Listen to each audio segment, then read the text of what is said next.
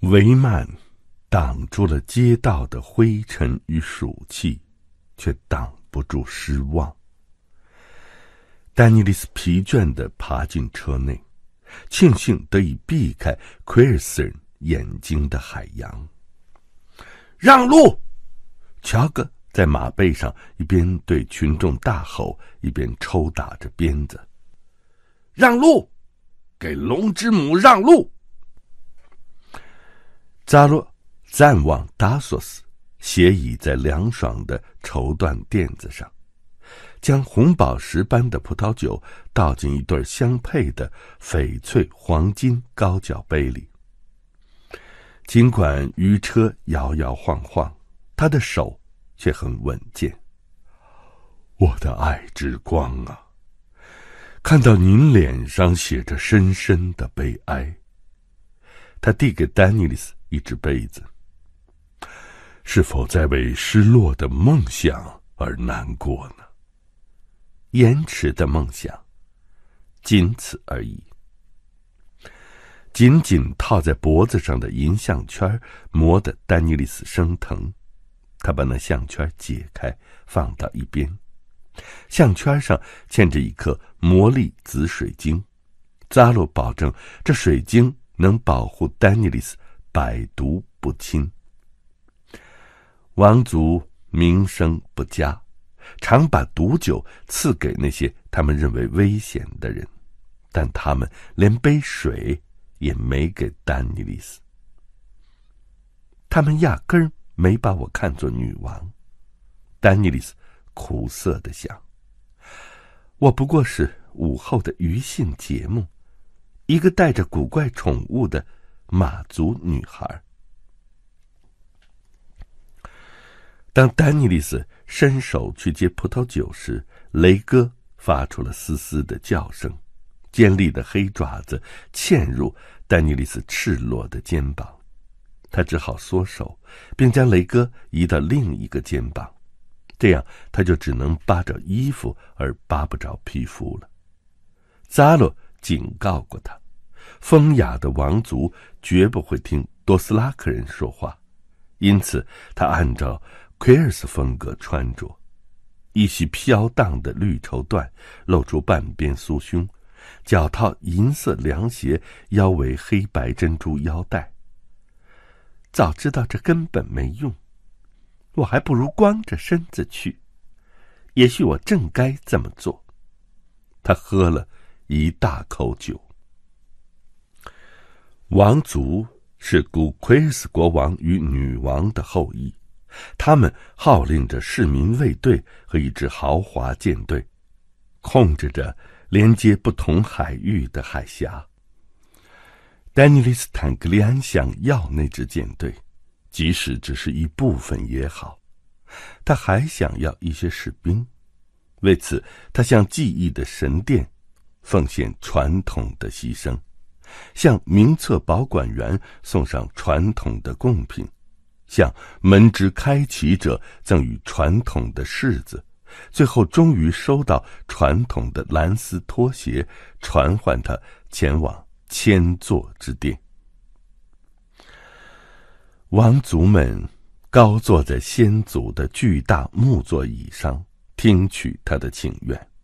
木椅排成弧形，自大理石地板呈阶梯状，逐层向上。直达高高的圆形天顶。天顶上绘着奎尔斯落日时的辉煌景象。那些椅子不但巨大，而且雕工奇异，镀金的表面明亮辉煌，镶嵌着琥珀、玛瑙、玉石和翡翠。每张椅子各不相同，彼此争奇斗艳。只是坐在上面的人们。看起来个个无精打采、昏昏欲睡。他们在听，却没有听进去，也不在乎听到的是什么。丹尼利斯想，他们才是真正的奶人，根本就不想帮我。他们纯粹是因为好奇和无聊才来的，对我肩头的龙比对我本人更感兴趣。告诉我。王族都说了些什么？扎鲁旺赞达索斯询问着：“告诉我，他们说了什么，令我心中的女王如此忧伤？”他们说：“不，这酒有石榴和夏日的味道。”当然，说的谦恭婉转，但在那些动听的言辞底下，仍然是不。你赞美他们了吗？我厚颜的恭维。你哭了吗？真龙不会哭，丹尼利斯烦躁的说。扎勒叹了口气。您应该哭的，唉。奎尔斯人动不动就掉眼泪，落泪被视为文明人的标志。我们收买的那些人怎么说？马索斯什么也没有说。温德洛称赞我说话的方式。优雅的艾根跟其他人一起拒绝我，但他事后却哭了。唉，这几个奎尔斯人真没有信用。萨鲁本身并非王族，但他告诉丹尼利斯该向谁行贿，每人该送多少。哭泣吧，哭泣吧，为了人类的背信弃义而哭泣吧。丹尼利斯宁愿为自己的金子哭泣，那些他用来向马索斯·马拉罗文、温德洛·卡尔根斯和优雅的埃根·埃莫罗行贿的钱，足够买一艘船或者雇二十来个佣兵。我能不能派乔拉爵士去把礼物要回来？他问。这样的话，只怕某天晚上遗憾客会潜进我的宫殿，趁您熟睡的时候谋害您呢。扎洛说：“遗憾客是一个教团性质的古老杀手工会。”他们在杀死受害者之前，总是轻声说：“我很遗憾，故而得名。”克里斯人最大的特点就是彬彬有礼。俗话说得好：“从王族那儿要钱，比给法罗斯的石牛挤奶还要难。”丹尼利斯不知道法罗斯在哪里，但对他而言。奎尔斯遍地都是石牛，凭借海外贸易发财致富的巨商们分为三个互相猜忌的派系：香料股工会、碧玺兄弟会以及十三巨子。扎洛属于后者。三个集团为了夺取贸易主导权而互相竞争，同时又和王族争斗不休。男巫们则在一旁虎视眈眈。他们有蓝色的嘴唇和可怕的力量，鲜少露面，但令人敬畏。如果没有扎罗，丹尼利斯早就不知所措了。他浪费在开启千座之殿大门上的钱财，多半来自于商人的慷慨与机智。世间还有真龙这一消息传遍了东方。越来越多的寻龙者前来探望。扎罗旺赞达索斯规定，大家不论尊卑，都得向龙之母献礼。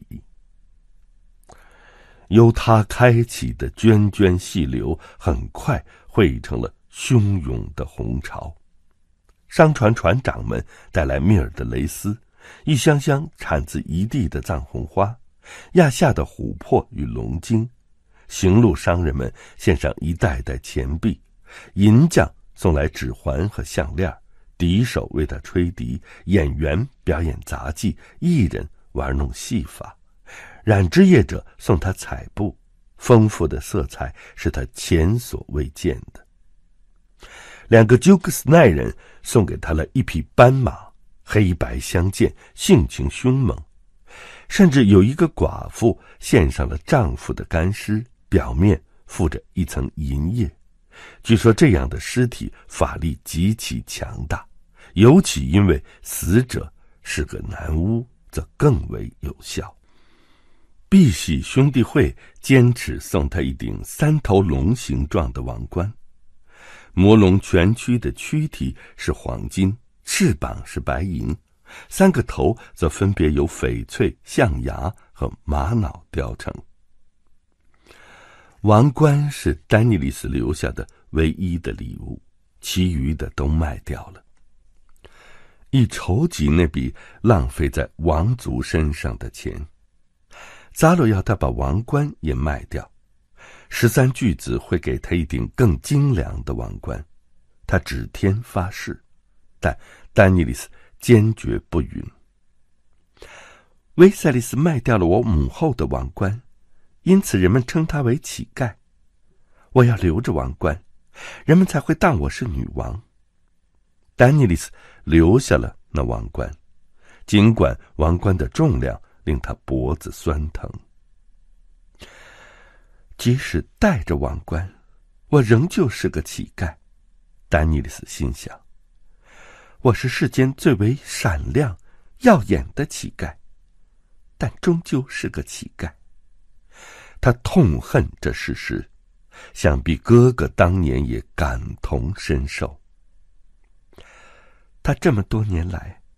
在篡夺者的杀手追杀下，从一座城市逃到另一座城市，一边向各位总督、大军和商界巨贾祈求援助，甚至靠谄媚奉承换取食物。他一定知道他们是如何的瞧不起他，难怪会变得那么暴躁，那么难以亲近，最后终于被逼疯了。假如我放任自流，也会是那样的下场。丹尼利斯内心的一部分只想带着他的人民回到威斯托洛诺，重建那座死城。不，那等于失败。我有威瑟利斯所不具备的东西，我有龙。有了龙，一切皆已改变。他抚摸着。雷哥，绿龙并拢嘴巴，使劲的咬住他的手。车外，巨大的城市鼓噪、沸腾、骚动，无数声响汇合成一个低沉的和音，仿佛汹涌的海涛。让路！你们这些奶人，给龙之母让路！乔哥大喊着。奎尔斯人移向两边。其实只是要避开拉车的牛，而并非因为乔哥的喊叫。透过摇曳的帷幔，丹尼利斯瞥见乔哥跨着灰色的战马，不时扬起他送给乔哥的银柄长鞭，抽打着牛。阿格守在鱼车一边，拉克洛则在队伍后面骑行，负责查看人群，预防危险。今天。丹尼利斯把乔拉爵士留在住处守卫其余的龙。被放逐的骑士打从一开始便反对这个愚蠢的计划。他不信任任何人，丹尼利斯心思，这不无道理。丹尼利斯举起高脚杯喝酒，雷哥嗅了嗅酒，将头缩回来，嘶嘶叫喊。您的龙鼻子不错，扎洛抹抹嘴唇。这酒很普通，据说在玉海对面有一种金色葡萄酒，口味之佳，只需喝上一小口，其他的酒喝起来便像醋一样。让我们乘坐着我的豪华游艇去寻访吧，就我们俩。世上最好的葡萄酒产自蜻蜓岛，丹尼利斯宣布。他记得，雷德温伯爵曾为父亲跟篡夺者战斗，属于少数到最后仍保持忠诚的人。他也会为我而战吗？许多年过去了，什么都无法确定。和我一起去蜻蜓岛吧，扎洛。去尝尝最美妙的佳酿，但我们得坐战舰去，而不是游艇。我没有战舰，战争对贸易不利。我告诉过您许多次了，扎罗赞旺达索斯是个和平主义者。扎罗赞旺达索斯是个拜金主义者。丹尼利斯想，但他的金钱可以为我买到我需要的船只和战士。我又没有让你拿起剑来，只是想借你的船。哈哈，没错。扎洛微微一笑。商船我现在是有几条，但谁能说清明天又有多少呢？或许此刻就有一艘船遭遇夏日之海的暴风雨，正在沉没呢。等到明天，另一艘也许会撞上海盗，因而葬身海底。再下一天呢，我的某位船长或许会觊觎舱中的财富，起了呃这些都属于我的念头。这些呀。都是做生意的风险。您瞧瞧，我们聊得越久，我拥有的船就可能逐渐减少。我每时每刻都在变穷。把船借给我，我保证让你连本带利的收回来。嫁给我吧，璀璨之光，扬起我心中的风帆。我想着您的美，夜夜无眠。丹尼利斯微笑了。扎洛动人的感情宣言令他感到有趣，但扎洛的言行并不一致。乔拉爵士扶丹尼利斯上车的时候，视线几乎无法从丹尼利斯裸露的一侧胸脯移开，但扎洛即便在如此狭窄的空间里，也根本不在意丹尼利斯的身体。丹尼利斯还发现，无数的漂亮男孩聚集在这位巨商身边，穿着薄薄的丝绸，在他的宫殿里来来去去。你说的真动听，扎罗。但我听出你的言外之意又是一个“不”字。您说的铁椅子听起来又硬又冷。简直是个怪物！哦，一想到那些参差不齐的尖刺划破您可爱的肌肤，我就心疼的无法忍受。扎洛鼻子上的珠宝让它看上去像只光彩夺目的怪鸟。他摆了摆修长雅致的手指，以示否定。就把这里。当做您的王国吧，最最高贵的王后，让我成为您的国王。如果您喜欢，我会送给您一个纯金的王座。如果您厌倦了奎尔斯，我们可以周游玉海，去一地旅行，寻找诗人口中的梦中之城，用死人的头颅啜饮智慧的美酒。我要航向威斯特洛，用篡夺者的头颅啜饮复仇之酒。丹尼利斯挠挠雷哥的眼袋，雷哥翠绿的翅膀稍稍展开，搅动了车里静止的空气。一滴晶莹的泪珠从扎鲁散往达索斯脸上滑落下来。没有什么。可以改变您的狂热吗？没有。丹尼利斯希望自己的声音听起来比较坚定。如果十三巨子每位借给我十艘船，您就会有一百三十艘船，却没有驾驶船的船员。您的正义对奎尔斯人而言毫无意义。我的水手们，凭什么要关心在世界边缘的某个王国由谁坐上王座呢？我会付钱让他们关心，哪儿来的钱呢？我可爱的天堂之星，用寻访者送的钱，你可以试一试。扎勒承认，但您需要买到许多的关心，代价可是不菲。哦，再说了，我慷慨的程度已经让整个奎尔斯笑话我败家了，而您需要的钱将远远多于当下的支出。如果十三巨子不肯帮我，或许我该请求香料工会或者碧玺兄弟会。哦，扎洛懒洋洋的耸了耸肩。除了恭维和谎言，他们什么也不会给您。香料工会有伪君子和吹牛大王当家，而兄弟会里全是海盗。看来我不得不听从排亚普利的话，去找男巫们帮忙了。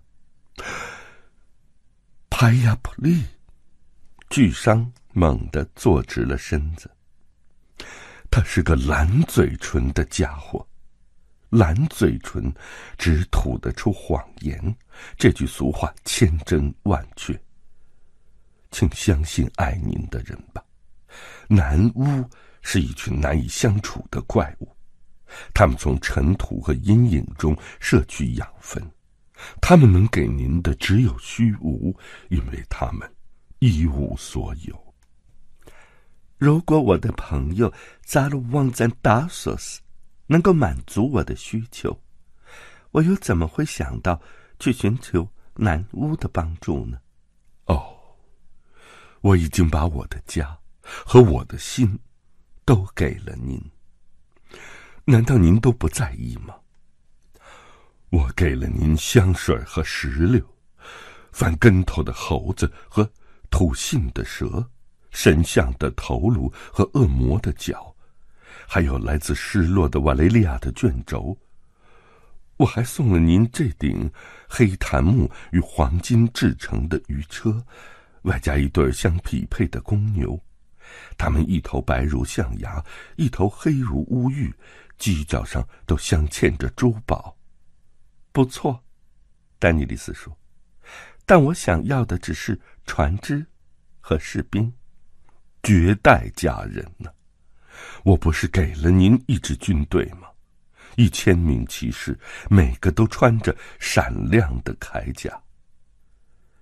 铠甲由金银制成，骑士则是翡翠、绿宝石、玛瑙、碧玺、琥珀、蛋白石和紫水晶，每一个都有丹尼利斯的小指头那么高。一千名可爱的骑士，丹尼利斯说，却不能让敌人畏惧，公牛也无法载我渡海。我为何停下了？公牛放慢了脚步，鱼车猛地停了下来。卡利西，阿哥隔着帘子喊道。丹尼利斯单肘支撑斜倚着，探出头。他们已经在集市边缘了，前方的道路被一堵厚实的人墙挡住了。他们在看什么？乔哥骑着马回到丹尼利斯面前。一个活法师，卡里西，我也想看。没问题。多斯拉克人向下伸出手，让丹尼利斯握住。随即将他拉上自己的马，并让他坐在前面，如此他的视线就能越过人群。只见活法师凭空召唤出一道火梯，不断摇曳盘旋的橙红火梯直直的伸向高处格子状的天花板，底下却没有任何支撑。丹尼利斯注意到，大多数观众都不是本城人。下船的水手，旅行商队的商人，来自红色荒原满身尘土的人们，四处流浪的士兵、手艺人和奴隶贩子。乔哥将一只手滑到丹尼利斯腰间，他把身子贴近。奶人都刻意躲避着他，克里希。看到那个戴毡帽的女孩了吗？就在那儿，在那个胖祭司后面，他是个扒手。丹尼利斯替乔哥把话说完。她可不是娇生惯养、没见过世面的贵族小姐。随着哥哥为了躲避篡夺者雇来的杀手而四处流亡的岁月里，他曾经在自由贸易城邦的街道上见过许多扒手。法师不断的比划，双臂大幅度的摆动，他催促着火焰越升越高。观众都伸长了脖子，抬起头；扒手们则在人群中挤来挤去，掌中暗藏小刀。他们一只手麻利的窃走大量钱财，另一只手向上指指点点。等剧烈燃烧的梯子达到四十尺高，魔法师向前一跃，像猴子一样沿着它两手交替的迅速攀爬。每跨过一阶，那一阶就在他的脚后消散了，只余下一缕银色的烟。当他爬到顶端，人和梯子便突然消失的无影无踪了。不错的把戏，乔哥忍不住赞叹。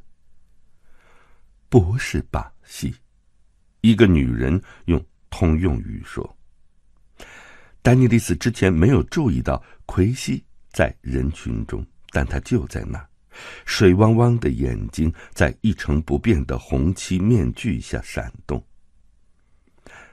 您这话什么意思，夫人？半年之前，此人连用龙晶生火都不行，只会一些使用火药和野火的雕虫小技，充其量。”能吸引几个无知愚人围观，好让他的扒手们有活可干。他可以走过炽热的炭，或是让燃烧的玫瑰在空中盛开，但绝不会期望攀上一道火梯，就像普通渔民不会期望在网中捕到海怪一样。丹尼利斯不安的望向刚才梯子所在的地方，现在连烟都消失了。人群正在散去，各忙各的去了。当然，不久之后，许多人就会发现自己的钱包已空空如也。那现在呢？现在他的力量增强了，卡里西，这是因为你的缘故。我，丹尼利斯大笑起来。怎么可能？那女人走过来。两根手指搭在丹尼利斯手腕上。你是龙之母，不是吗？他当然是。暗影之子不可碰他。乔哥用鞭子把将奎西的手指拨开。那女人后退一步。你必须赶快离开这座城市，丹尼利斯坦克利安，否则就走不了了。手腕上。被奎西碰过的地方有些刺痛。你要我去哪里？他问。要去北方，你必须向南走；要达西境，你必须往东；若要前进，你必须后退；若要光明，你必须通过阴影。亚夏，丹尼利斯心想，他要我去亚夏。亚夏人会给我军队吗？他问。在亚夏，我能得到金钱吗？那有船吗？亚夏有什么东西是我在奎尔斯找不到的呢？真相。戴面具的人回答完了，接着鞠了一躬，消失在了人群之中。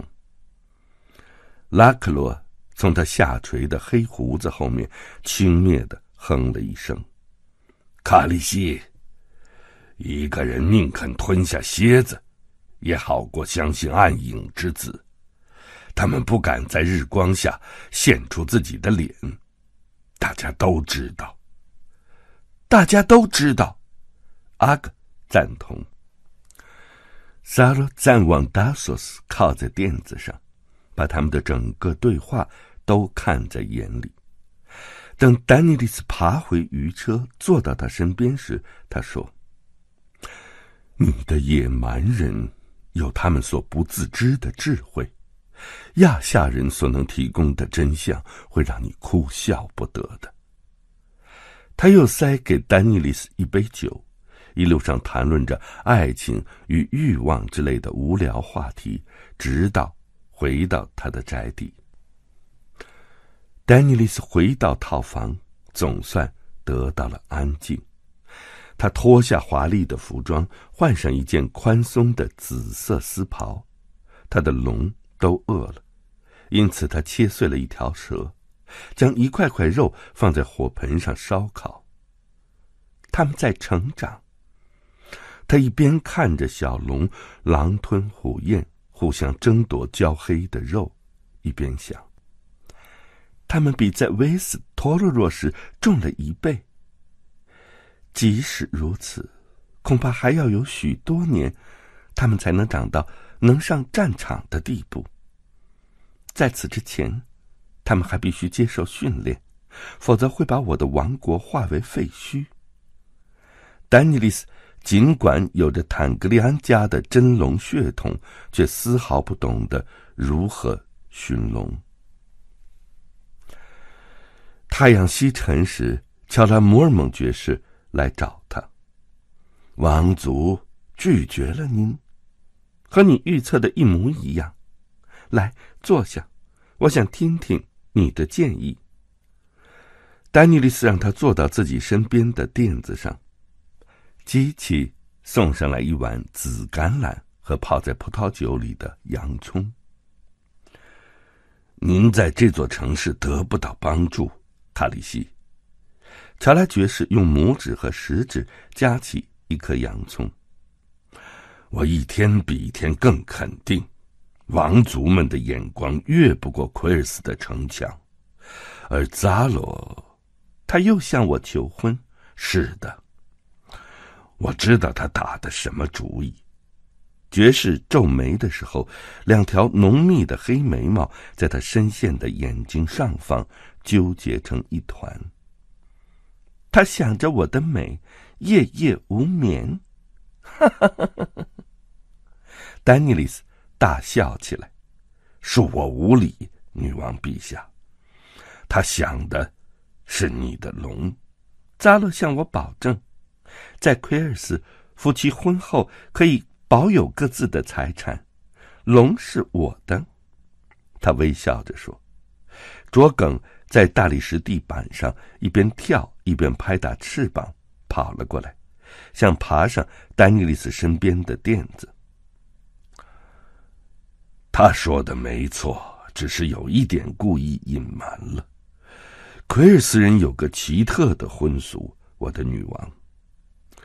在婚礼当天，妻子可以向丈夫要求一件爱的信物，不管她要求的是世间何物，丈夫都必须答应。而丈夫也有权对妻子提出同样的要求，虽然只能要一件东西，但不管是什么，都不能拒绝。一件东西，丹尼利斯重复着。不能拒绝。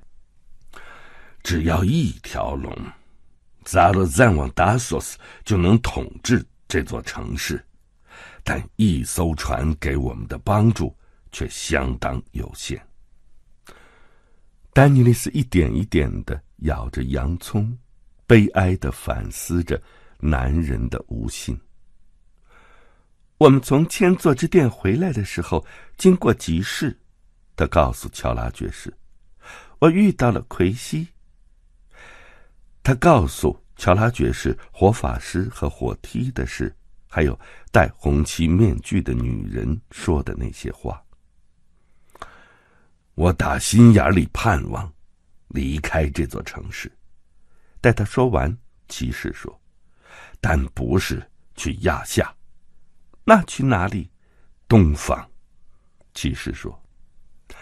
此地离我的王国已有半个世界那么远，如果再往东，我也许永远回不了维斯特洛了。如果您往西，那就是拿自己的生命去冒险。坦格利安家族在自由贸易城邦有朋友，他提醒着骑士，比扎洛和王族更忠实的朋友。如果您指的是伊利柳总督，我相当怀疑。只要能得到足够的利益，伊利柳会毫不犹豫的把你卖掉，就跟卖奴隶一样。我和哥哥在伊利柳的宅子里做了半年宾客。如果他有心出卖我们，早就动手了。他的确出卖了你们。乔拉爵士说：“他把您卖给了卓格卡奥。”丹尼利斯涨红了脸。骑士所说的是事实，但是丹尼利斯受不了骑士尖刻的直白。伊利里欧保护我们免遭篡夺者的伤害，他相信哥哥的理想。伊利里欧除了伊利里欧自己，什么都不信。贪食的人必然贪婪，这是一条定律。而掌权者又总是生性狡猾。伊利里欧总督两样都占了。您真正了解他吗？他给了我龙蛋。切，骑士对此嗤之以鼻。如果他知道这些龙蛋能孵化，早坐在上面亲自孵了。丹尼利斯情不自禁的笑了。哦，这点我毫不怀疑，爵士。我对伊利溜的了解比您想象的要多。当我离开他，在潘托斯的宅邸，嫁给我的日和星的时候，的确还是个孩子，但我不聋也不瞎，而我现在，也不再是孩子了。就算伊利柳如您想象的，算是个朋友，骑士固执地说，他也不够强大，无法靠一己之力帮助您登上王座，否则您的哥哥当初也不会落得如此下场。但他很富有，丹尼里斯说：“也许不如扎鲁，却足够为我雇佣船和人手。佣兵有他们的用场。”乔拉爵士承认，但您无法依靠自由贸易城邦的那些渣子来赢回您父亲的王座。没有什么比之入侵的军队更能捏合一个分裂的国家。我是他们真正的女王啊！丹尼利斯抗议着。您是个陌生人，还意图带着一支连通用语也不会讲的外籍军团登上他们的海岸。维斯特洛的诸侯都不认识你，他们反而有充分的理由畏惧你、怀疑你。因此，在你起航之前，必须赢得他们的拥戴。多多少少，都好。好啊，如果我照你的建议去东方，又如何能赢得他们的拥戴呢？骑士吃下一颗橄榄，把果核吐到手心里。我不知道，陛下。他承认，但我知道，您在一个地方待得越久，就越容易被敌人发现。坦格利安这个姓氏仍然让他们惧怕，以至于听说您怀了孩子，就派人来谋杀。如果他们得知您有了龙，又会怎么做呢？卓梗蜷缩在丹尼利斯的手臂下面，像一块在烈日下暴晒了整天的石头那么烫。雷哥和威塞良正为了一块肉而争斗，用翅膀互相击打，烟雾丝丝的从鼻孔喷出来。我桀骜不驯的孩子们，丹尼利斯心想，他们绝不能受到伤害。彗星把我领到奎尔斯，必有其目的。我本希望在这里找到我的军队，但那似乎并不可能。我不禁自问：还会有什么呢？我很恐惧。丹尼利斯意识到了这一点，但我必须勇敢。骑士，明天你去找拍呀，不利。知了有声，欢迎继续收听。这女孩从来不哭。米塞拉·拜莱星虽然小小年纪，但天生就是个公主。她是兰尼斯特家的人，尽管她没这个姓。提利昂提醒自己，她身上流着兰尼斯特的血液，瑟西和詹姆的血液。当米塞拉的兄弟们在海杰号甲板上向他告别的时候。他的微笑中有一丝战栗，但这女孩知道如何应对。她的话勇敢而有尊严。到了分别时刻，哭泣的是托曼王子，安慰他的是米塞勒。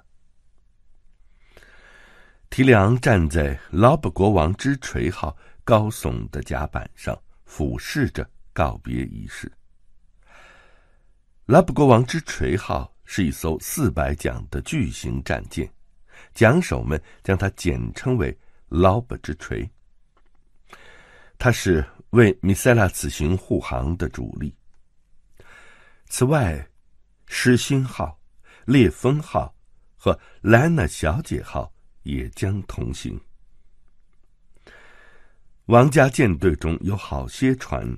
当年随史丹尼斯公爵攻打龙石岛，再也没有回来。从那以后，海军一直元气不足，而今又要分出一部分，提梁深感不安。但瑟西绝不允许减少护卫。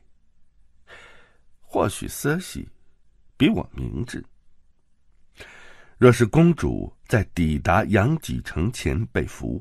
与多恩的联盟就会顷刻间土崩瓦解。到目前为止，道朗马泰尔只是召集诸侯。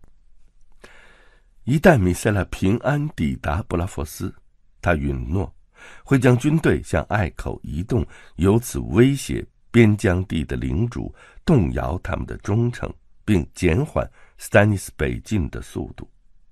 其实这只是虚张声势。除非多恩本土遭到攻击，否则马泰尔家绝不会真正参战，而斯丹尼斯当然不会蠢到那种地步。不过，或许能够刺激他旗下的诸侯做出蠢事。提梁心想：“我该把这种可能列入考量。”他清了清嗓子：“ 清楚命令吧，船长。”呃，是的，大人，我们沿着海岸行驶，呃，保持陆地在视线范围内，呃，直到抵达蟹爪半岛，从那里我们横穿狭海，航向布拉佛斯，途中绝不能驶进龙石岛的视野之内。如果偶然遇上了敌人，该当如何呢？如果对方只有一艘船，我们主动将其赶走或击沉。若对方出动船队，就由烈风号紧贴海杰号保护，其他舰船组织战斗。嗯，提梁点点头。就算情况不妙，小巧的海杰号也应当能摆脱追逐。它帆大船小，比当前任何一艘战舰都快，至少他的船长如此声称。只要米塞拉抵达布拉佛斯，想必能确保安全。提里昂派亚里斯·阿克霍特爵士做公主的贴身护卫，又请布拉佛斯人护送公主前去杨吉城。布拉佛斯是自由贸易城邦里最强大、最有势力的一个，斯丹尼斯也不能不买他的账。从君临到多恩，经由布拉佛斯虽不是最短的路径。却是最安全的，至少提里昂如此期望。假若斯丹尼斯得到了这次护航的情报，不趁此机会来攻打君临，更待何时呢？提梁不禁回望向黑水河注入海湾的河口，天边一条绿线，丝毫不见帆影，他方才感到安心。最新情报显示，由于科特纳庞洛斯爵士继续以故去的兰里之名坚守城池，贝拉西恩舰队依然在围困丰西堡。与此同时，提里昂的绞盘塔也已完成了四分之三。此时此刻，人们正将一块块沉重的石头吊上去，放置就位，无疑正边做边骂，诅咒提里昂让他们在节庆时间工作。哼！随他们骂吧。再有两个星期，斯丹尼斯，我只要你再给我两个星期，半个月后就一切就绪了。提里昂看着外甥女跪在总主教面前接受祝福，保佑旅途平安。阳光透过水晶冠冕，散射出七彩虹光，照在米塞勒扬起的脸上。河边的喧闹使提梁听不清祷词，只得希望诸神的耳朵比他灵敏。宗主教胖的像座房子，比拍喜儿还会装腔作势，滔滔不绝。哼，够了，老家伙，结束吧！提梁恼火的想：诸神听够了你的唠叨，还有重要的事情要做呢。我也是啊。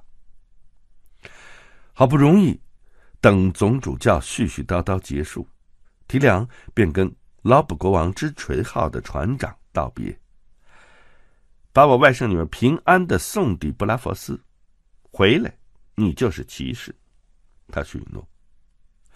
提梁沿着倾斜的木板走向码头，感觉到四周投来不善的目光，船身。轻轻摇晃，使他蹒跚的比以前更厉害。我打赌他们想笑，只是没人敢，至少没人敢公开嘲笑。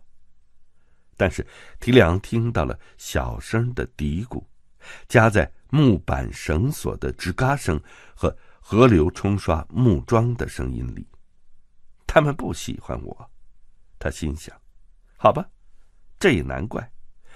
我吃得饱，长得丑，而他们正饿着肚子。波隆护卫他穿过人群，来到姐姐和外甥们身边。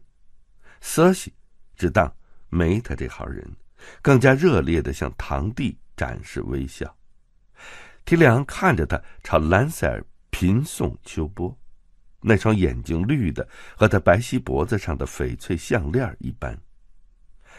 他自己会心的笑了。我知道你的秘密，瑟西。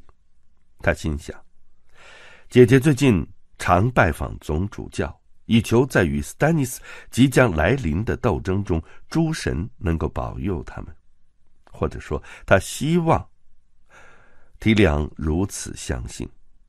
实际上，每当短暂造访贝勒大圣堂之后，瑟西。便会换上普通的棕色旅行斗篷，溜出去密会某个雇佣骑士。那骑士似乎名叫奥斯蒙 ·Cat Black 爵士。他还有两个跟他一丘之貉的弟弟奥斯尼和奥斯弗里。这一切，兰塞尔都一五一十的告诉了提里昂。瑟西是打算利用 Cat Black 兄弟来收买一群自己的佣兵。好啊，就让他享受密谋的快感吧。每当他以为自己胜过我一筹，就会变得比较可爱。Cat Black 兄弟会讨瑟西喜欢，收他的钱，承诺他的一切要求，何乐而不为呢？因为波隆会给出相同的价格，一分不差。这三兄弟外表亲切和蔼，实际上却是些无赖。对于行骗，远比作战要擅长。瑟西等于替自己买到了三面大鼓，要敲多响就有多响，里面却空无一物。对此，提里昂觉得有趣儿极了。号角响了起来，施勋号和莱娜小姐号驶出堤岸，顺流而下，为海杰号开道。岸边的人群发出了几声零星的欢呼，如空中的流云一般稀稀拉拉。米塞拉站在甲板上，微笑着挥手。亚历斯·奥克霍特爵士站在他身后。爵士的白袍随风飘动，船长下令松开缆绳，船桨推动海杰号驶入黑水河的急流中，背风张帆，普通的白帆，而非兰尼斯特的深红布料。提里昂坚持这样安排。托曼王子啜泣起来：“你哭得像个吃奶的婴儿。”他哥哥嘶声对他说：“做王子的，不该哭。”龙骑士伊蒙王子在奈里士公主嫁给他的哥哥伊耿那天就哭了。三傻史塔克说：“孪生兄弟伊利克爵士和亚历克爵士在互相给予对方致命一击之后，也双双掉下了眼泪。安静，否则我叫马林爵士给你致命一击。”乔弗里告诉他的未婚妻。提里昂瞥了一眼姐姐，瑟西正全神贯注的听巴隆史文说话。他真的盲目到看不清他那个乔弗里是个什么东西吗？提里昂疑惑的想着。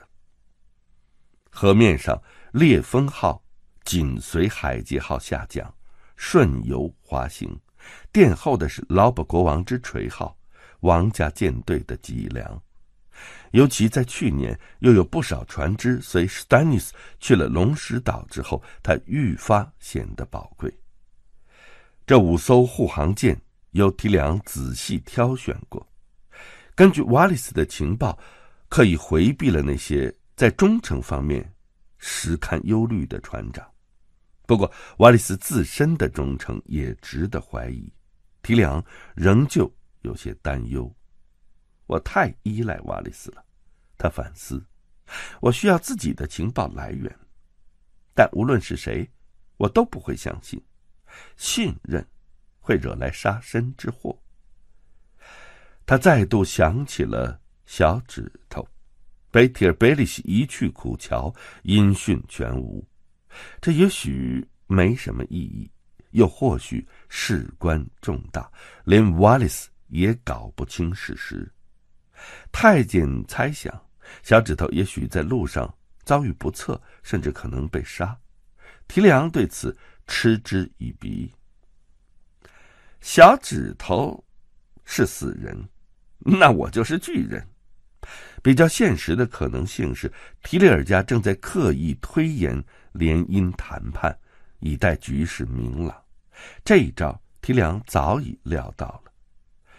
如果我是梅斯提里尔，大概宁肯要乔弗里的头挑在枪尖上，也不要他把那玩意儿插进自己的女儿身体里吧。待小舰队深入海湾，瑟西便下令回城。波隆牵来提里昂的坐骑，扶他上马。这本是波德瑞克·派恩的任务，但提里昂将波德留在了红堡，在公共场合。有这个瘦长的佣兵伺候，更加令人放心。狭窄的街道上，两边罗列着都城守备队，他们用长矛挡住人群。杰斯林·白沃特爵士当先领路，带着一队黑锁甲、金袍子的枪骑兵，在他之后是艾伦·桑塔加爵士和巴隆·史文爵士。他们高举着国王的旗帜，一边是兰尼斯特的怒吼雄狮，一边是拜拉辛的宝冠雄鹿。乔弗里国王骑一匹高大的灰马跟在后面，金色卷发上戴着一顶金冠。萨沙斯塔克骑一匹栗色母马走在乔弗里身边，目不斜视，浓密的赤褐色头发罩着月长石发网。披散在肩。两名御林铁卫在他们两侧保卫，猎狗位于国王右边，曼德摩尔爵士位于史塔克女孩的左边。接下来是仍在抽泣的托曼，白袍白甲的普里斯顿格林菲尔爵士跟随着他，然后是瑟西，由兰塞尔爵士陪伴。负责保护的是马林特兰爵士和波洛斯布朗爵士。提梁跟随着姐姐，在他们的后面是坐着轿子的总主教和一长串廷臣。霍拉斯雷德文爵士。坦德伯爵夫人和他的女儿，加拉巴索尔、盖尔斯罗斯比伯爵以及其他人，最后有两列卫兵殿后。在那两排长矛后面，邋遢、肮脏、不修边幅的民众用充满恨意的目光阴沉的凝视着骑马的人们。我一点儿也不喜欢这情景，提良想。他已经命令波隆派出二十个佣兵混进人群，预防有事故发生。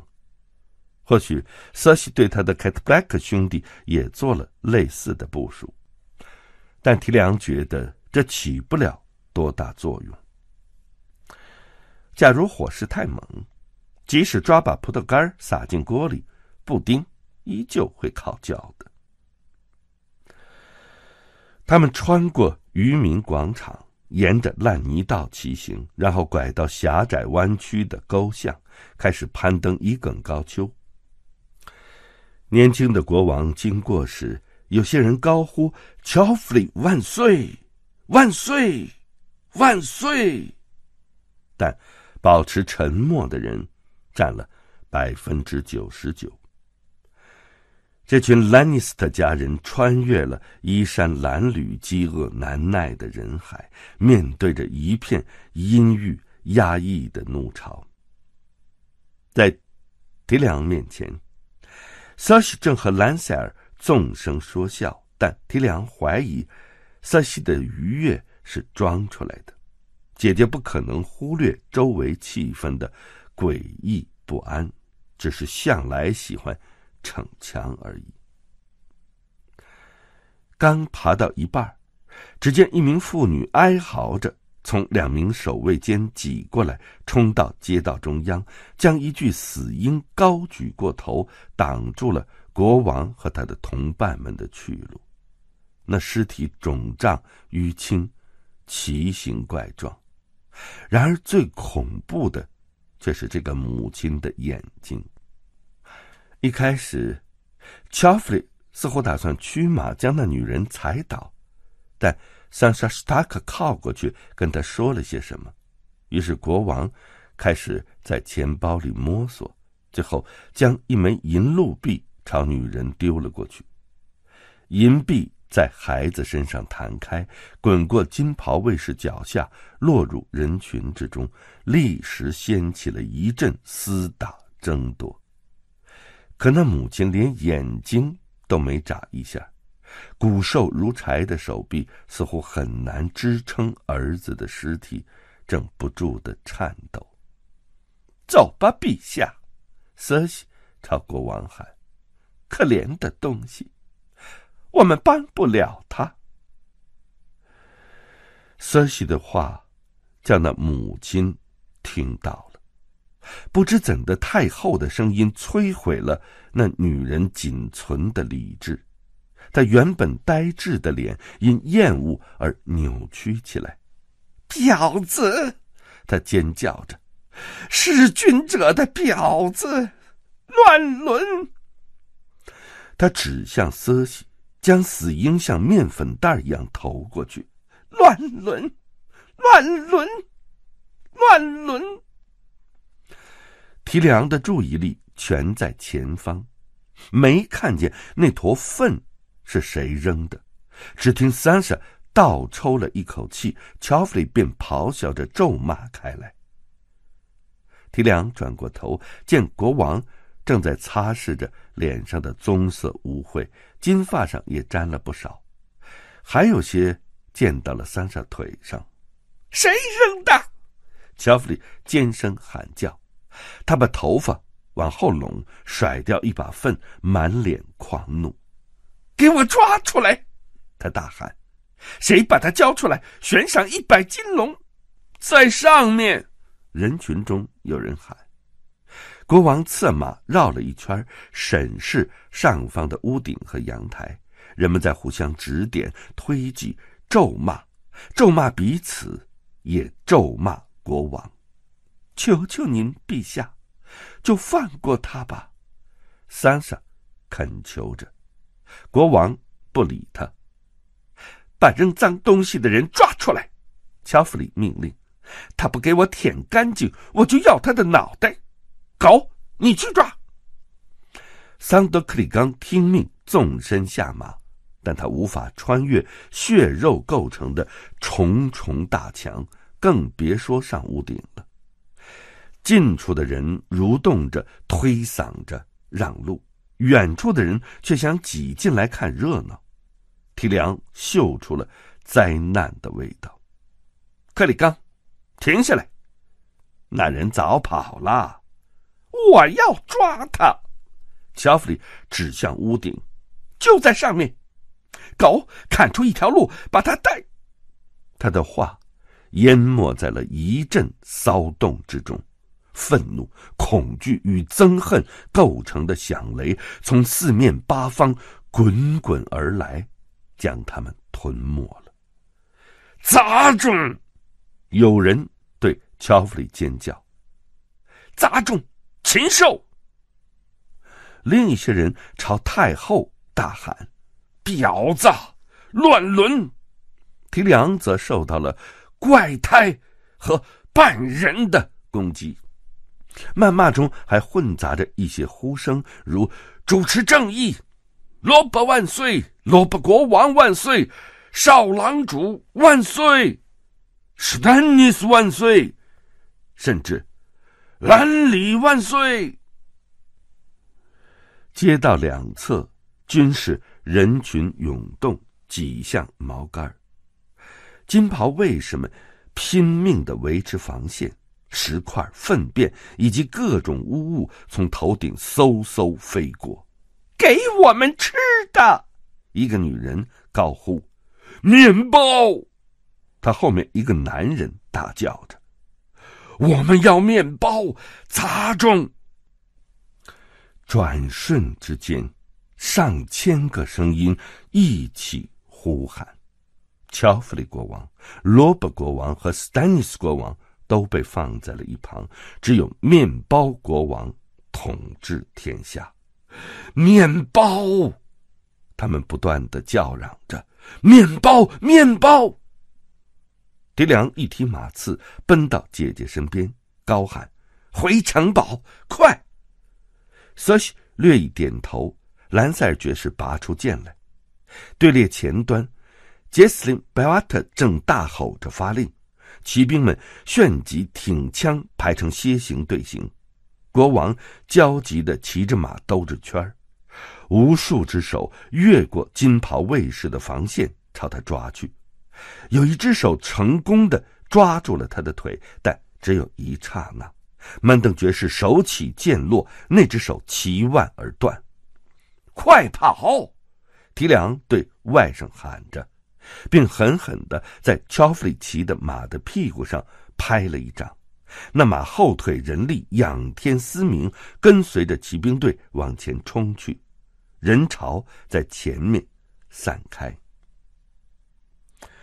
提里昂紧跟着国王的马闯入这一缝隙，波隆提剑相随。策马飞奔之际，一块凹凸不平的石头擦着提里昂的头皮飞过，一颗腐烂的白菜砸到了曼登爵士的盾牌上，四散飞溅。在他们左侧，三名金袍卫士被汹涌的人群挤倒，接着人群踩过躯体，涌向前来。猎狗的马仍在跟随着队伍，但其主人已不见踪影。提里昂看见艾伦·桑塔家从马鞍上被拽了下来，手中拜拉仙家的黑金旗帜也被扯掉。巴隆史文爵士则扔下了兰尼斯特的狮子旗，拔出长剑。他左劈右斩的当口，落下的旗帜被人群撕开，千百块蓝缕的碎片如暴风中的红叶一般旋转飞舞，顷刻间便归于无形。有个人跌跌撞撞的出现在乔弗里马前，国王驱马踏过。只听蹄下一声惨叫，提里昂辨不清那是男人、女人还是小孩。乔弗里脸色苍白，只管向前狂奔。曼登摩尔爵士伴随在左，犹如一道白影。突然之间，那个疯狂的世界已被抛在了身后。他们哒哒哒的穿越城堡前的鹅卵石广场。一列长枪兵守卫着大门，杰斯林爵士正重整枪骑兵，准备再次冲锋。长枪兵队列则向两边分开，放国王一行人通过铁闸门。淡红色的城墙高耸于头顶，其上挤满了十字弓手，令人安心。提梁不记得自己。是如何下的马？只见门登爵士把颤抖着的国王扶了下来。瑟西、托曼和兰塞尔也骑马跑过大门。马林爵士和波洛斯爵士紧随其后。波洛斯的剑上血迹斑斑，而马林后背的白袍已被撕掉。巴隆史文爵士的头盔不见了。他的坐骑大汗淋漓，口吐鲜血。霍拉斯·雷德文护着坦达伯爵夫人回来，可是伯爵夫人的女儿罗丽斯被撞下马去，没能逃脱。伯爵夫人急得快要发疯了。盖斯伯爵的脸色比平日更灰白，他结结巴巴的讲述总主教如何从轿子里跌了出来，人群一拥而上。而他尖声祈祷。加拉巴索尔似乎看到玉林铁卫的普雷斯顿格林菲尔爵士冲回了总主教那倾覆的轿子旁边，但他不能肯定。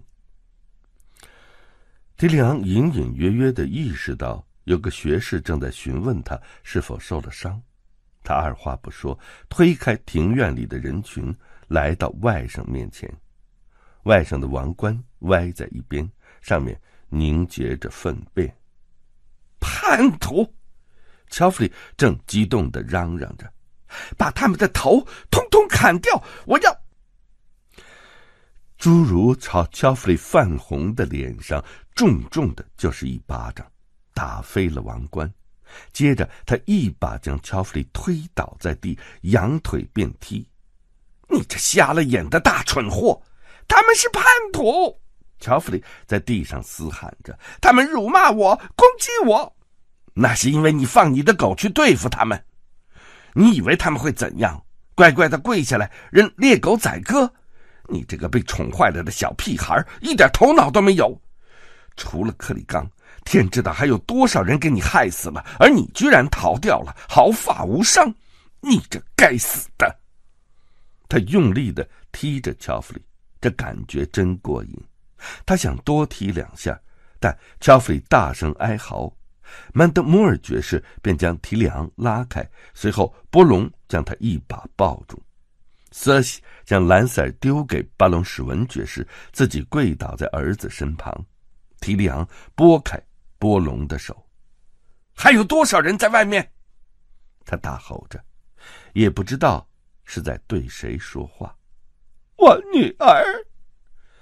坦德伯爵夫人哭诉着：“求求你们，得有谁去救罗丽斯。”普雷斯顿爵士没有回来，波罗斯布兰爵士汇报：“呃，艾伦桑他家也没有。”嗯，保姆也没回来。霍拉斯雷德文爵士说：“那是众侍从给小提瑞克兰尼斯特起的绰号。”提梁环顾庭院。斯塔克家的女孩呢？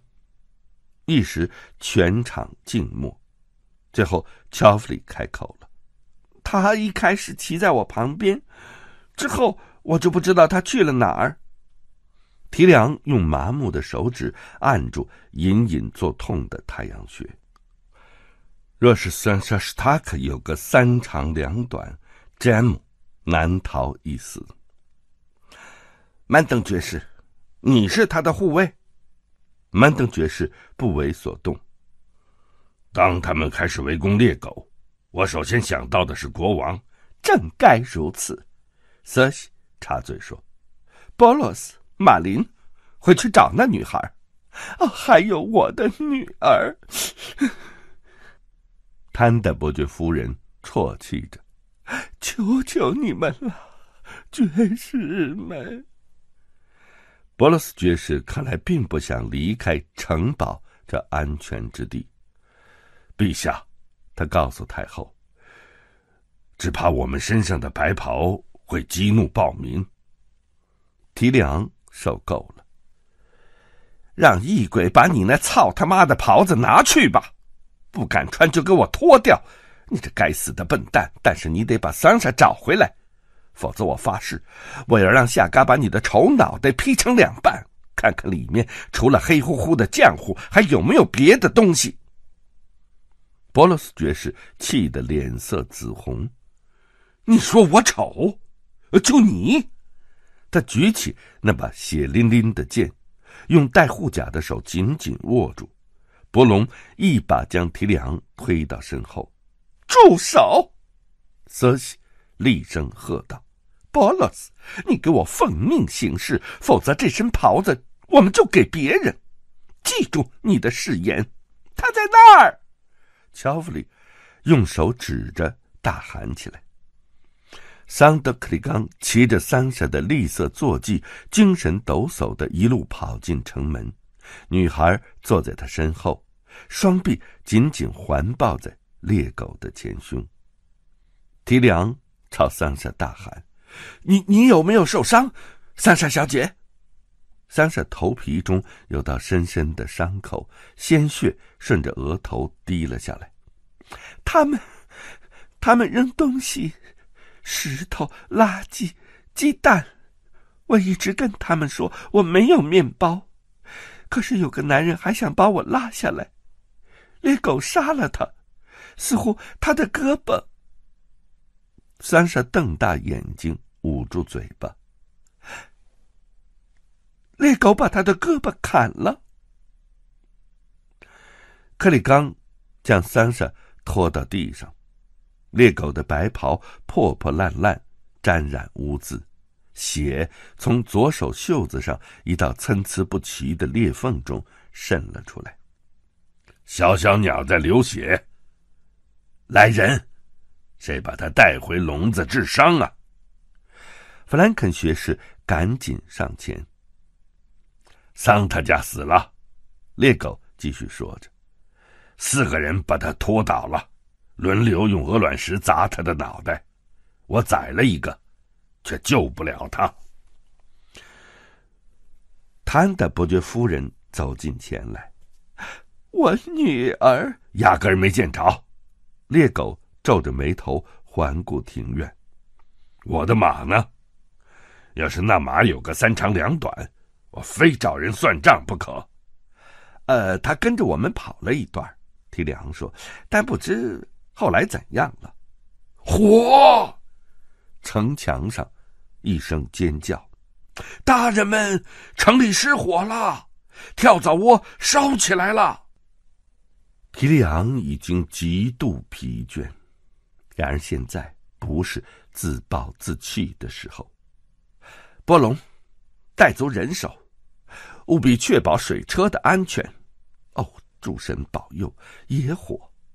如果有一丁点火星溅上那些，情非得已的话，啊，可以放弃跳蚤窝，但绝不能让火势蔓延到炼金术士工会大厅，明白吧，克里冈？你跟他们一起去。片刻之间，提里昂在猎狗阴郁的眼睛里似乎瞥到了恐惧。火，提里昂想起来了。哦，异鬼抓走我吧！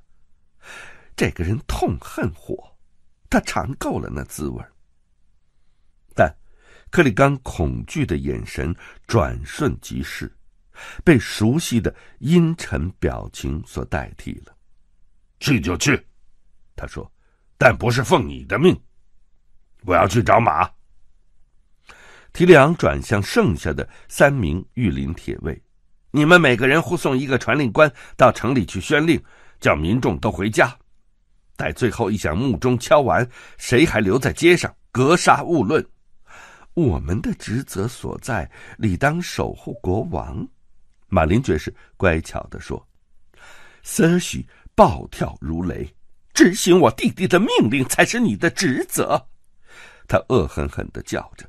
首相是国王的代言人，胆敢抗命就是反叛。波洛斯和马林互换一个眼色。那我们要穿着白袍去吗，太后陛下？波洛斯爵士问。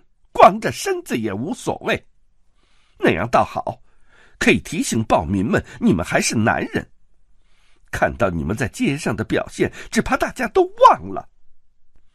提梁任由姐姐大发雷霆，他的头阵阵刺痛，他觉得自己闻到了烟味儿，但大概是由于神经过于紧张。两名石压部民守着首相塔的门，去把提妹之子提妹找来。呃，石压部的人才不会追着卓人布的人呱呱乱叫呢。一个原住民傲慢的告诉提梁：“提梁竟忘了自己是在跟什么人打交道了。那就叫夏嘎。夏嘎在睡觉。提梁好不容易才克制住大声吼叫的冲动，把他叫醒。叫醒多夫之子夏嘎可不简单。”那个人抱怨着。他的火气可吓人了，他就不能这那人嘟嘟囔囔的走开了。夏嘎一边打着哈欠，一边伸着懒腰，晃晃悠悠的过来了。半个城市在暴乱，另一半着了火，而夏嘎居然躺着打呼噜。提梁说：“夏嘎不爱喝你们这儿的泥巴水。”只好喝淡啤酒和酸葡萄酒，喝了就头疼。我把雪姨安置在钢铁门附近富人区的一个大宅子里，我要你立刻去那里保护她，不管发生什么事，都要确保她的安全。大个子笑了，乱蓬蓬的胡子裂开了一条缝，露出了参差不齐的黄牙齿。呵呵，夏嘎把他接过来，不。只要确保他不受伤害就行。啊，告诉他我会尽快赶去看他的，或许就在今晚，不然明天一定去。然而，当夜幕降临时，城里依然一片混乱。虽然根据布隆的汇报，火势已经扑灭，多数游荡的暴民也被驱散，但提里昂心中有数。不管自己多么渴望雪衣双臂的抚慰，今晚是哪儿也去不了了。杰斯林·贝沃特爵士送来遇难者名单时，提里昂正在阴暗的书房中吃着冷鸡和烤面包。天色已由黄昏转为黑夜，仆人们进来点亮蜡烛，为壁炉生火，却被提里昂吼叫着赶走了。他的情绪就跟这间屋子一样的阴暗。白瓦特爵士带来的消息更是雪上加霜。名单上的首位是总主教，他一边尖叫着祈求诸神大发慈悲，一边被民众撕成了碎片。对饥饿的人们而言，胖的走不动的修士。正是最佳目标，提里昂心想。普雷斯顿爵士的尸体一开始被忽略了，因为金袍为什么找的是白甲骑士，而普雷斯顿爵士被无数的人连戳带砍，从头到脚成了红棕色。艾伦桑塔家爵士躺在阴沟里，头盔被砸扁，脑袋成了一团红泥。谭德伯爵夫人的女儿在某家制革店后面把贞操献给了数十个粗俗的男人。金袍卫士发现他时，他正赤裸着身子在腌肉街上游荡。Tirik 不见踪影，总主教的水晶棺也下落不明。九个金袍卫士被杀，四十人受伤。至于暴民死了多少，无人关心。不论死活，你必须把 Tirik 找到。贝沃特爵士报告完毕之后，提梁简略的说：“他还是个孩子，而他的父亲是我过世的 Tiget 叔叔。他对我一向很好。呃，我们会找到他以及总主教的冠冕，让异鬼用总主教的冠冕互相干吧，我才不管呢。”当你任命我为都城守备队的司令官时，曾告诉我你只要真相。我有预感，不管你打算说什么，我都不会喜欢。提梁阴郁的说：“直到今天为止，都城依然在我的掌控之中。但是，大人，我无法担保明天的情况。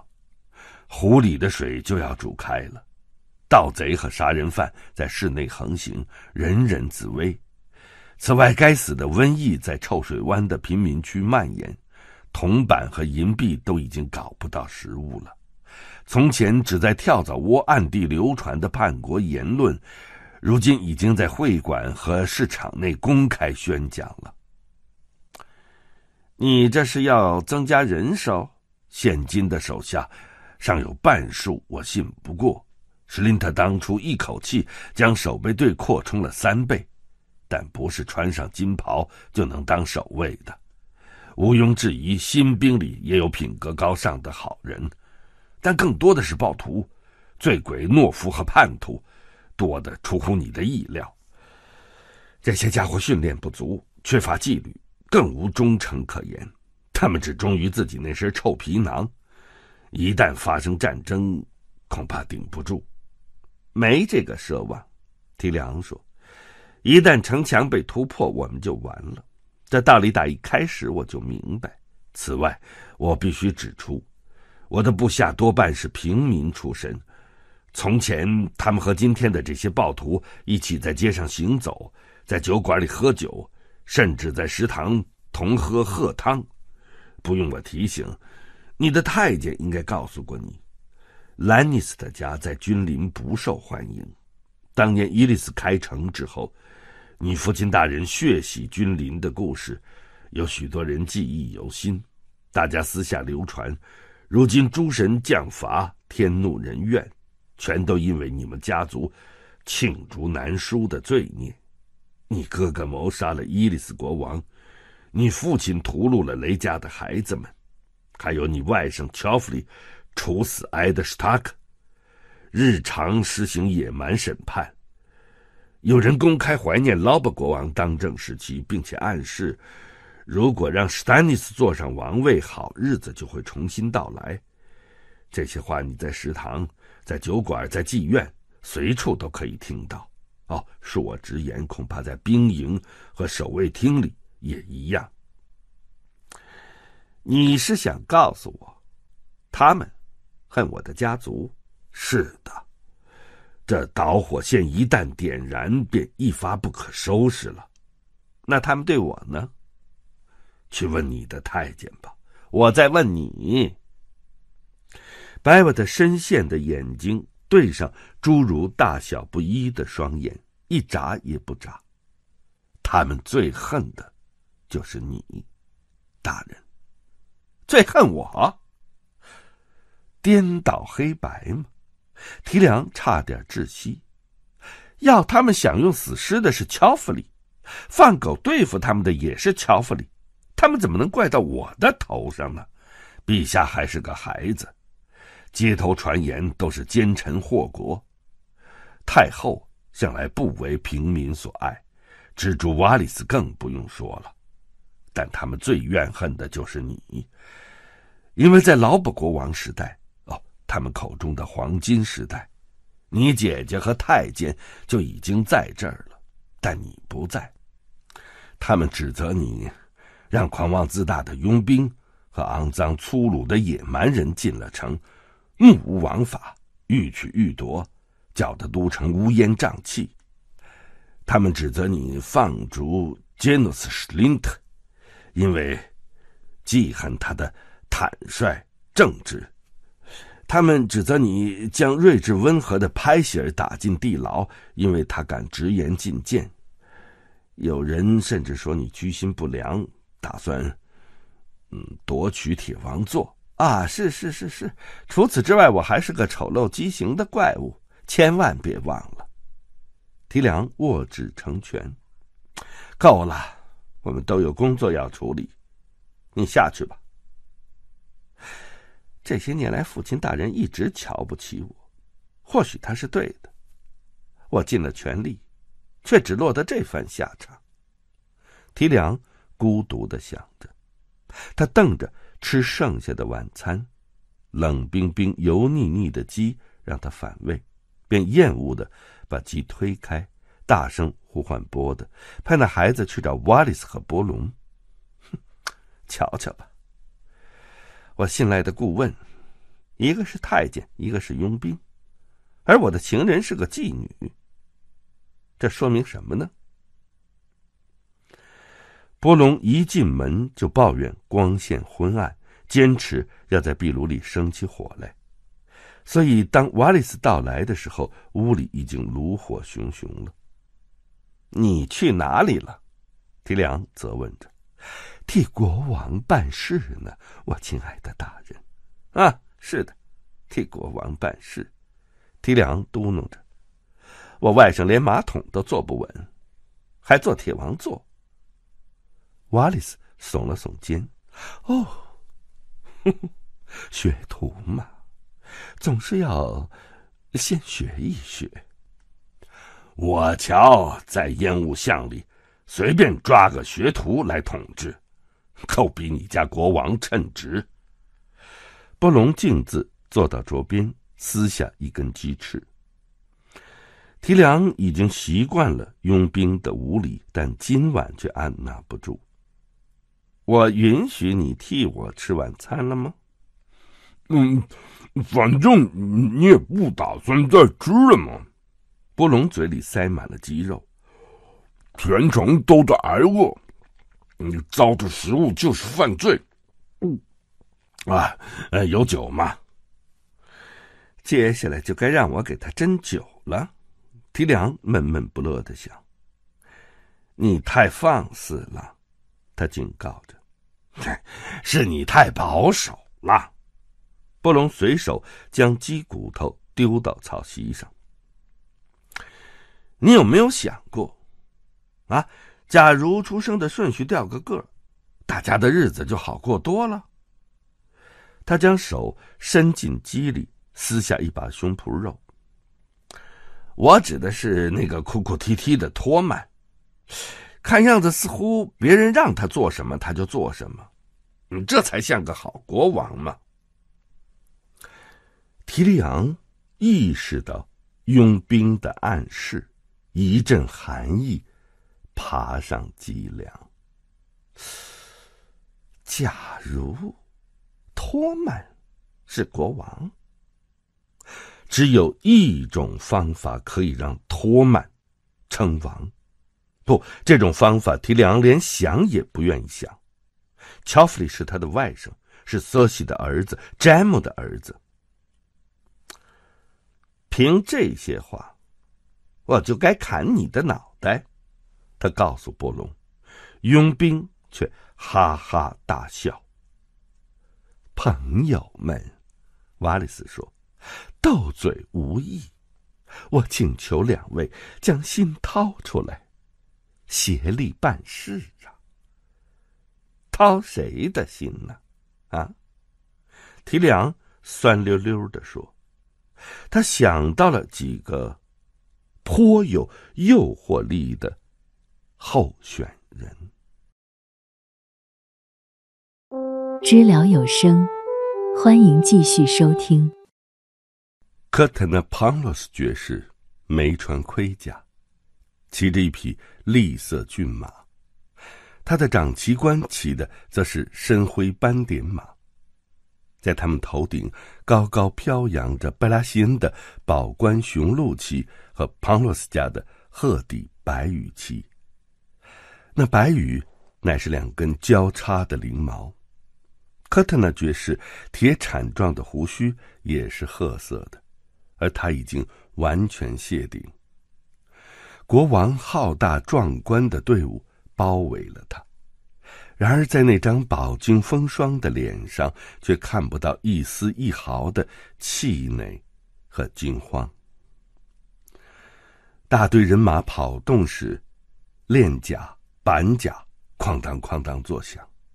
戴夫斯本人也穿了盔甲，只觉得很不适应，肩膀和后背正因着不习惯的重量而酸痛不堪。他认定。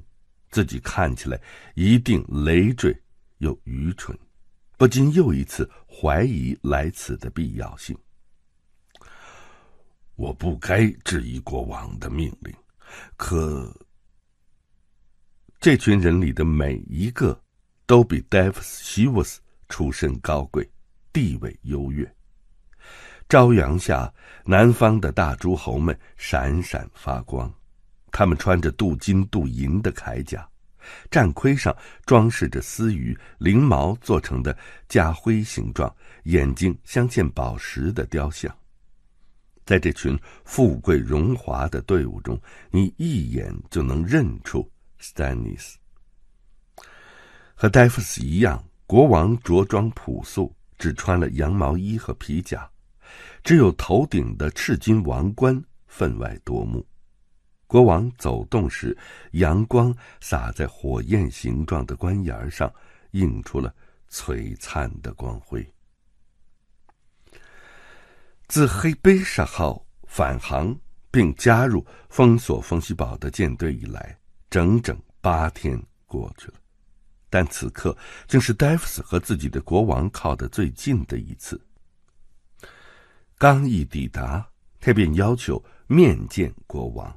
却被告知国王很忙，国王最近一直很忙。这一点，戴夫斯从自己的儿子戴冯那里已经了解到了。儿子是王家侍从之一。如今，史丹尼斯·贝拉辛的权势大大增强，贵族诸侯们便成天围着他，嗡嗡唧唧，活像尸体上的苍蝇。他看起来的确像半具尸体呀，和我离开龙石岛那时比，他苍老了许多。戴凤说：“最近国王几乎不能入睡。兰里大人死了以后，他就为噩梦所困扰。”男孩向父亲倾诉：“连学士的药也不管用，只有梅丽桑卓夫人有办法安抚他入眠。”这就是。那女人和国王同住大帐的原因吗？戴夫斯纳闷儿。一起祈祷，还是用别的法子安抚他入眠？这问题超越了君臣之礼，而且戴夫斯也不敢问，即便是问自己的儿子，也不妥。戴峰是个好孩子，但他的上衣上骄傲的绣着。烈焰红心。某日黄昏，父亲见他也在篝火前祈祷，恳求真主光之王赐予黎明。他是国王的侍从，戴夫斯告诉自己，理当好好的侍奉国王的神灵。戴夫斯几乎遗忘了风息堡的墙垒是多么高大雄伟。直到如今，他们重新逼近他的眼帘，他方才再度感叹于此地的气势。斯丹尼斯国王在高墙下停住，离科特纳爵士及其长旗官数尺之遥。爵士先生。他带着僵硬的礼貌开口，没有下马的意思。啊，大人。对方的语气不那么有礼，回答也正如所料。遵照正式礼仪，面见国王应该尊称陛下。弗罗伦伯爵朗声宣布，他的胸甲上刻了一条光彩夺目的红金狐狸。旁边围着一圈天青石花。这位亮水城伯爵高大、尊严、富贵，在兰里的部署中头一个倒向斯丹尼斯，也是头一位公开宣布弃绝旧神、改姓光之王的南境诸侯。斯丹尼斯把王后和王后的叔叔亚塞尔爵士留在了龙石岛，但后党的势力不减反增。不论成员还是权势，都变得空前庞大。这其中，爱丽丝的弗罗伦伯爵自然居功至伟。科特纳爵士没有理会弗罗伦伯爵，径自和史丹尼斯交谈。哈哈哈，陪你来的都是些大人物啊，高贵的伊斯蒙大人、埃洛尔大人和瓦尔纳大人啊。绿苹果佛索维家的琼恩爵士和红苹果佛索维家的布莱恩爵士，兰里国王的两名彩虹护卫，啊，卡伦爵士和古德爵士，啊，当然了，少不了咱们尊贵高尚的亮水城伯爵爱丽丝的弗罗伦老爷。啊，后面那个是你的洋葱骑士吗？啊，姓惠戴夫斯爵士。至于这位女士嘛，抱歉，只怕我还不认识。我名叫梅丽桑卓爵士。一行人唯有这个女人毫无武装，一身平滑红袍，喉头的大红宝石绰印日光。侍奉你的国王和光之王，祝你工作顺利，夫人。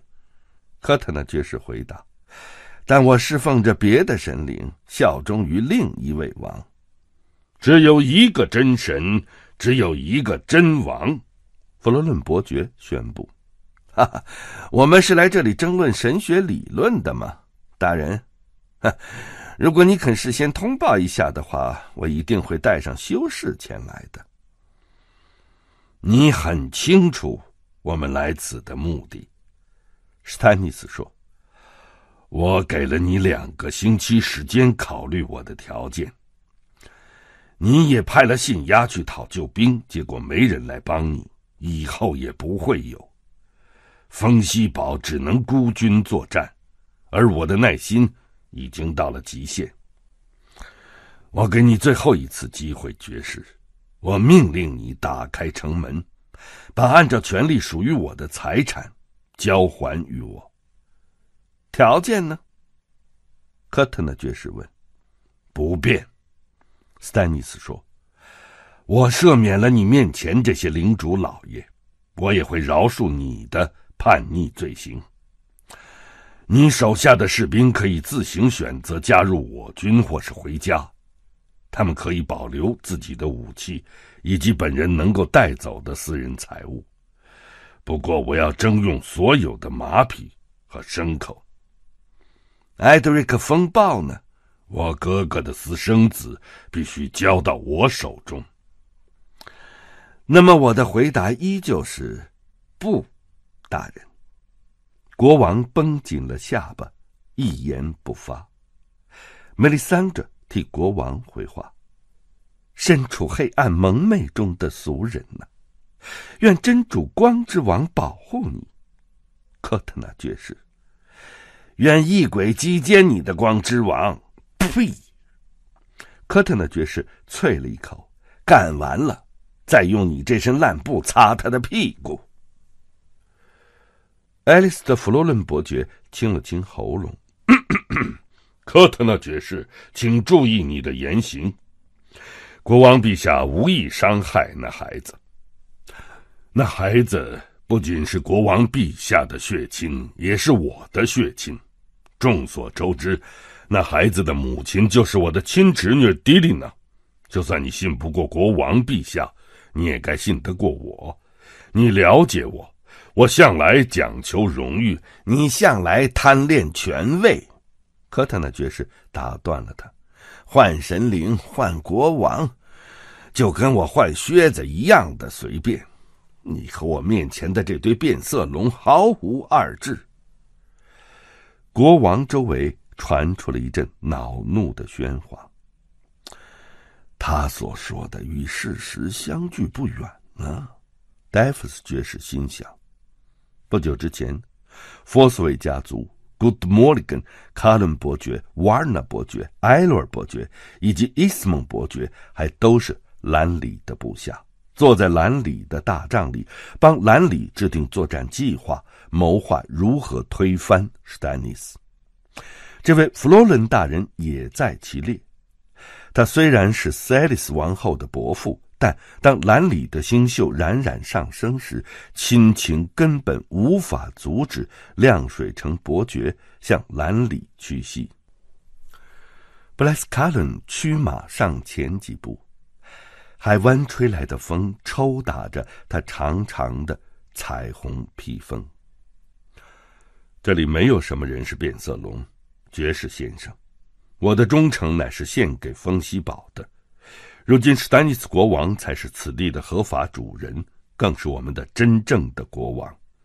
他是贝拉西恩家族最后的血脉，劳巴和兰里的继承人。如你所言不虚，为何百花骑士没有随你前来呢？马托斯罗晚在哪里呢？兰达塔里又在哪里？阿卡特伯爵夫人呢？这些最拥护兰里的人为何不肯前来？我再问你，塔斯的布雷尼在何处呢？他，Good Morgan，大笑起来，哈哈哈哈哈！他早溜了，动作倒挺快。谋害兰里国王的正是他呀！撒谎！科特纳爵士说：“当年在木林厅，布雷尼还是……”一个在父亲脚边跑来玩去的小女孩的时候，我就认得她了。后来，他的父亲穆之星把她送来风息堡，我对这孩子更是知根知底，瞎子都能看出来，他对兰里一见钟情。正是，弗罗伦伯爵说：“最毒不过妇人心。”有多少纯情少女因为感情遭到拒绝，就狠心谋害自己倾心的男子呢？不过以我看，杀害兰里国王的应该是史塔克夫人。她千里迢迢的从奔流城赶到这儿来缔结联盟，却被兰里一口回绝了。想必史塔克夫人把兰里视为儿子的一大威胁，所以除掉了兰里。是布雷尼干的，卡伦伯爵坚持。埃蒙古伊爵士临死前为此发过誓，我也对您发誓，我说的是实情。科特纳爵士，科特纳爵士的语气极度的轻蔑。你发的誓，值几个钱呢？你看看你，居然还穿着这身彩虹披风。这不就是你发誓要守护兰里陛下的那一天他给你的吗？啊！现在他人已经死了，你呢？你活得倒自在。他转而斥骂 Good Morgan。我也要问你同样的问题，爵士先生，你是绿衣卫 Good，对不对？你是不是彩虹护卫的一员呢？你有没有宣誓将自己的生命献给国王呢？如果我有这么一件披风，可没有那么厚的脸皮穿出来招摇现世。莫里根勃然大怒：“科特纳，你应该庆幸这是和平谈判，否则你这么口出狂言，我割了你的舌头，就像你阉割自己的命根子那样吗？啊，哼，你也算条汉子。够了。”史丹尼斯说。我弟弟因谋逆大罪而遭身亡，这是光之王的意愿。至于是谁下的手，都一样。对你这种人而言，或许如此。科特纳爵士说：“我已经听过了你的建议，史丹尼斯大人。现在，请听听我的。他脱下手套，投掷出去，正中国王面门。一对一的决斗，剑、枪或者任何你提出来的武器都行。假如你害怕拿你的魔法剑与贵体去和一位老人犯险的话，你尽可指明代理骑士，无论是谁，我来者不拒。科特纳爵士严厉的看了看。Good Morgan 和 Bless Callen 一眼，照我看，呵呵，这些小畜生可都跃跃欲试呢。Good Morgan 爵士的脸气得发黑，求陛下恩准，我来料理他。我也愿意。布莱斯卡伦望向史丹尼斯，国王咬紧牙关，我不接受你的挑战。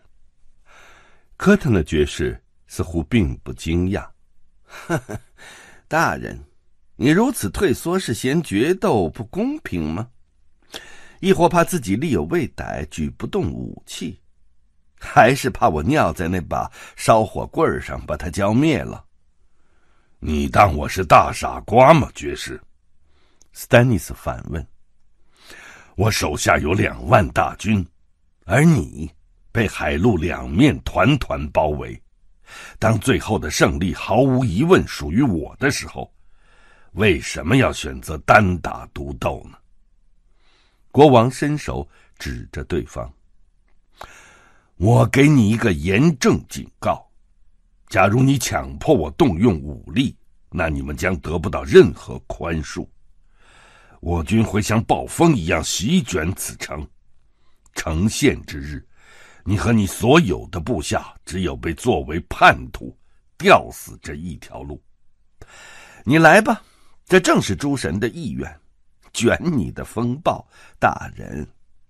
然而，如果你还有脑子，请记得这座城堡的名字。科特纳爵士一拉缰绳，朝城门飞驰而去。史丹尼斯一言不发。静静的调过马头，开始回营。其他人跟随行动。这样的攻势，如果强攻，只怕会损失好几千人呢。年迈的伊斯蒙伯爵发愁的说：“以母亲那方的血缘而论，他算是国王的外公。”依我看，只拿一条生命冒险，会不会比较妥当呢？我们的要求正当，天上诸神一定会祝福您的代理骑士，保佑他获得胜利。是真主，没有诸神了。戴夫斯想，你忘了，老先生。哼，我们如今只有一位独一无二的神灵。那就是梅丽桑卓的光之王，琼恩，佛斯维爵士说：“纵然我的剑法尚不及卡伦大人和古德爵士的一半，但我也很乐意带您出战，陛下，请您放心。科特呢找不到代理骑士，因为兰里并没有在风息堡留下任何像样的武士。城里的守军不是老头，就是刚入伍的小孩。”卡伦伯爵也表示赞同。毫无疑问，这是一次唾手可得的胜利，而且充满了光荣。想想看，用美妙的一击赢下雄伟的风息堡。丹尼斯一眼扫过众人：“你们叽叽喳喳的，活像枝头的喜鹊，而且比那鸟更没脑子。我要自己静一静。”国王。叮嘱戴夫斯，爵士，你跟我来。他一提马刺，远远抛开他的随从团，只有梅丽桑卓继续跟随。这女人举着一幅巨大的烈焰红心旗，宝冠雄鹿绣在心的内部，似乎已完全被吞噬了。戴夫斯骑过贵族领主们身边，跟上国王，看到人们。面面相觑，这些人可不是洋葱骑士，他们来自久负盛名的尊贵家族，骄傲而有势力。不知怎么的，戴夫斯意识到，兰里从不会如此斥骂他们。那位年轻的贝拉西恩天生便适合宫廷交际，而他的兄长却很令人悲哀的，一点都不会这一套。马儿快跑到国王身边，戴夫斯放慢速度。陛下，从近观之，斯丹尼斯的气色比刚才所见还要糟糕。他形容枯槁，眼旁有着深深的黑眼圈。走私者应该很能察言观色，国王说：“你来评价一下，科特纳庞洛斯爵士如何呀？”他很顽固，戴夫斯小心翼翼的说：“依我看，只怕是想死想的发疯，居然敢当面拒绝我的宽恕。好啊！”这下他不但葬送了自己的性命，还给全城的人都判了死刑。决斗，国王不屑的一哼，毫无疑问，他当我是老本呢。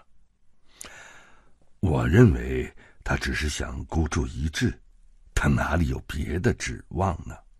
当然没有，城堡一定会陷落。但如何能加快进程呢？斯丹尼斯陷入沉思，透过马蹄有节奏的滴答滴答的声音，戴夫斯听见国王磨牙的细微响动。弗罗伦伯爵力主把老庞洛斯爵爷带来，他是科特纳爵士的父亲。你认识他，对不对？呃，当我以您信使的身份遍访南境诸侯的时候，庞洛斯大人待我最为客气有礼。戴夫斯说：“但他已经老朽不堪了，陛下，他虚弱无力，疾病缠身。”弗洛伦的意思就是要在大庭广众之中展示他的虚弱，比方说在他亲生儿子面前，给他的脖子上。套上绳索。反对后党是危险的举动，但戴夫斯发誓要对国王永远忠实。我以为此举很不妥当，国王陛下。就算科特纳爵士看着父亲死在面前，以他的操守，也绝不会负人所托。这样的行为对我们毫无益处。突然为我们的事业蒙上污名罢了。污名，史丹尼斯恼火地说：“莫非你要我饶叛国者一命？您不就饶恕了后面这群老爷吗？你在指责我吗？走私者，我我没有资格责备陛下。”戴夫斯唯恐自己说的太多。国王却不依不饶。你对这位科特纳的评价比对我帐下诸侯的评价还要高，为什么？因为他坚持信念，坚持对一位死了的篡夺者的信念吗？不错，戴夫斯同意。然而，终究他能坚持，而我们后面这群人。做不到。戴夫斯已经在史丹尼斯面前说了太多了，此刻再不能假装腼腆。呃，去年他们是劳勃的人，一个月之前是兰里的部下，今天早上又都成了您的忠臣，那么明天他们会倒向谁呢？哈哈哈哈哈哈哈哈！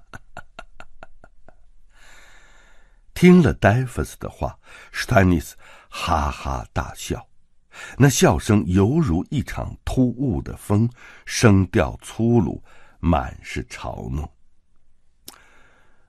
我不是跟你说了吗，梅丽桑卓？他对红袍女说：“我的洋葱骑士总能对我实言相告。”您的确很了解他，陛下。红袍女说：“戴夫斯，我一直很想念你。”国王说：“你说的没错，在我后面跟了一大群叛国贼，我的鼻子。”不会欺骗我。这帮风尘爵爷们在犯上作乱期间尚且反复无常。我是需要他们，但是你要知道，我曾经因为更轻微的罪行惩罚过比他们还要高贵的人，如今却不得不欣然饶恕他们的罪孽。我心里是很难受的。你完全有理由责备我，戴夫斯爵士。您自责的程度比我想说的还要深刻，陛下，不用过虑。您需要这些大诸侯为您的王位，而他们只是我的指头，如此而已。史丹尼斯露齿而笑。戴夫斯本能的把手伸向脖子上的皮带感觉到内里的指骨，那是他的幸运符。国王觉察到了戴夫斯的反应。你还把他们留着呢，洋葱骑士？你还念着他们？不，那为什么留着？我一直很奇怪。因为他们能提醒我，我自己是个什么样的人，我从哪里来，以及您的公正无私，陛下。这的确是公正，斯丹尼斯说。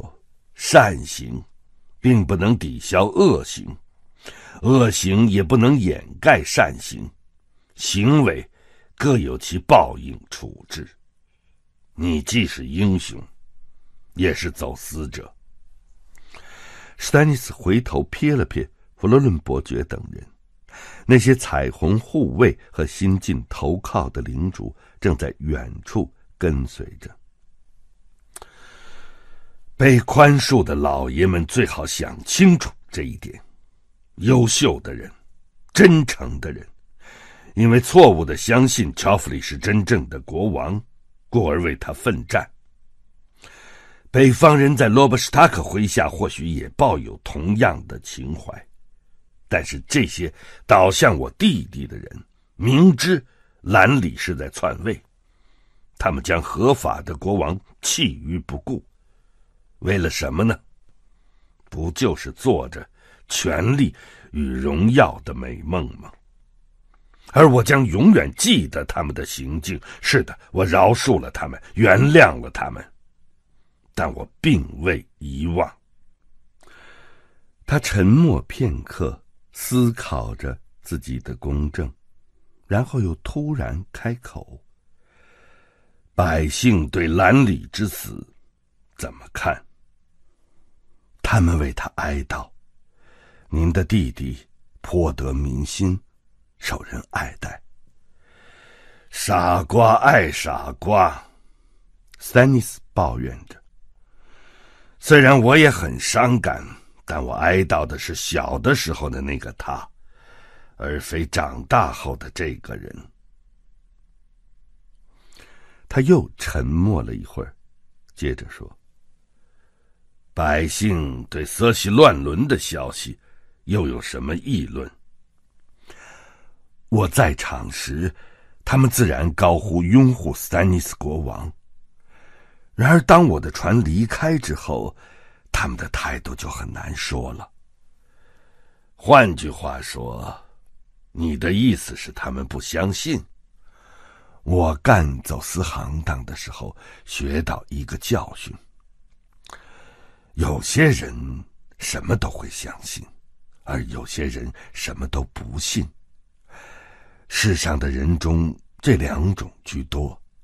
呃，您知道还有另一个版本的传言，在是的，斯丹尼斯咬牙切齿地说：“有人说塞利斯背着我出轨，喜欢上了一个满头铃铛的傻瓜，说我女儿的生父其实是个弱智弄臣，荒谬绝伦，无耻至极。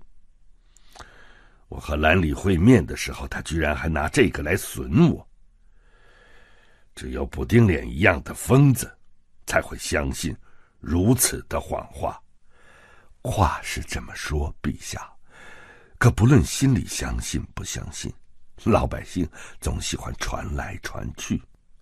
很多地方，这谣言甚至比戴夫斯的船还先到，让戴夫斯带来的事实的可信度大打折扣。哼，老伯就算是尿在杯子里让人喝，很多人也会心甘情愿的说那是美酒。我给他们纯净的凉水，他们却要眯起眼睛来疑神疑鬼，喝完了还会窃窃私语说水的味道不对劲。斯丹尼斯咬紧牙关，哪天要是有人造谣，说杀死老伯的那头猪被我施法附了体，我看他们八成也会信。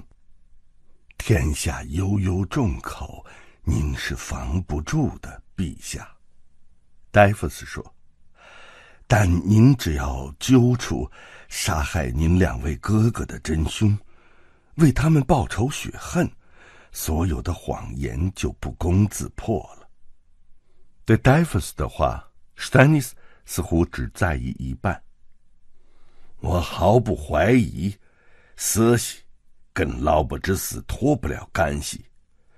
我会为劳伯讨回公道，嗯，也会还埃德施塔克和琼艾琳一个公道。那兰里呢？戴夫斯不及考虑，这句话便冲口而出。国王沉默许久，最后才轻声说：“我梦见过很多次，梦见兰里的死。”那是一座绿色的帐篷，有蜡烛、尖叫的女人，还有血。史丹尼斯低头看着自己的手。他死的时候，我还在睡觉。你的戴冯可以作证。当时他努力的想摇醒我。黎明已尽，我的风尘们正在外面焦急万分的等候。兰里将在破晓之时发动进攻，我早该穿戴整齐，披挂上马，却不知怎的，竟然还躺在床上。戴峰说我当时手脚挥舞，大声哭喊着醒来，但那有什么关系呢？不过是梦而已。兰里死的时候，我好端端的待在自己的营帐里，醒来之时。双手干干净净。戴夫斯·希沃斯爵士感觉到那已经不存在的指尖正在发痒。这里一定有什么蹊跷，前走私者心想。但他还是点点头说：“ 是的。谈判的时候，兰里想送我一个桃子，他嘲笑我。”向我挑衅，威胁我。最后还想送我一个桃子。我本以为他是要拔剑，所以按住了自己的剑。难道这就是他的意图吗？想让我显示内心的恐惧？这是他开的又一个无聊的玩笑。又或者，当他说起桃子多么可口的时候，其实别有深意。嗯，国王用力的摇头，活像一只咬住兔子的脖子摇晃的狗。只有兰里，才能用一颗水果烦我如此。他的谋逆导致了他的毁灭，但我的确爱他，戴夫斯。如今我明白了，我发誓，直到进坟墓的那一天。我都会记得弟弟的桃子。此时，他们到了营地，穿过排列整齐的帐篷、随风飘舞的旗帜和堆叠有序的武器，空气中马粪的臭气十分浓重，混合着燃木的烟尘和炖肉的香味儿。斯丹尼斯勒住马缰绳，直接解散了弗罗伦伯爵和其他贵族，命令他们一小时后再来大帐参加作战会议。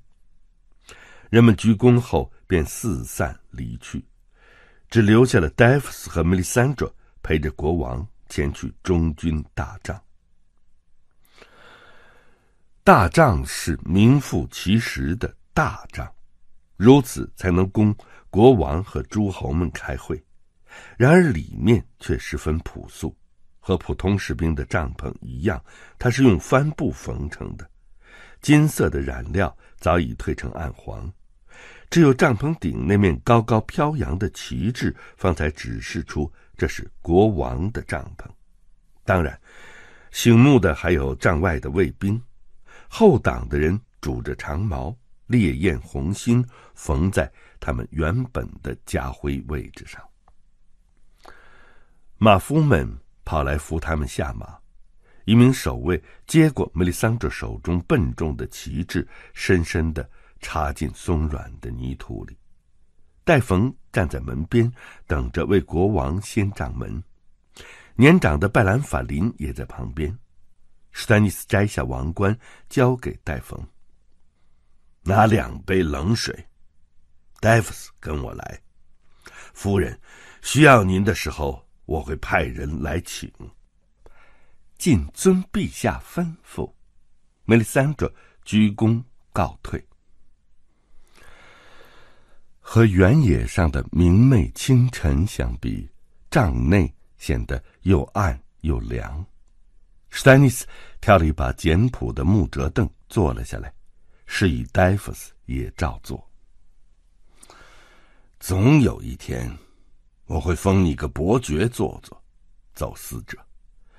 想想看，塞提加或者弗洛伦他们该多么恼火呀！不过我知道你自己是不会因此而感谢我的，因为从此以后，你就不得不列席这些没完没了的会议，还要假装对驴叫表示兴趣。如果没用，那您召开会议做什么呢？还能为什么？驴子喜欢听自己叫呗，况且我也需要他们为我拉车。啊，没错，偶尔也会有一些好主意冒出来。然而今天的情形嘛，我想，哈，你儿子把水拿来了。戴冯将托盘放到桌上，里面有两个盛满了水的泥杯。国王在饮水之前先撒了把盐，戴夫斯则直截了当的举起杯子，心里将它幻想成葡萄酒杯。您提到作战会议，让我告诉你会议将怎么进行吧。瓦勒利安大人会力主明日破晓急行攻城，用抓钩和云梯去对抗弓箭与热油。年轻一点的驴子对此将极力赞成。伊斯蒙大人则希望扎营下来专事封锁，用饥饿做武器逼他们投降。正如从前提里尔和雷德文对付我的那一套，这或许需要一年。然而老驴子们有的是耐性。至于卡伦大人和那帮热血沸腾的家伙呢？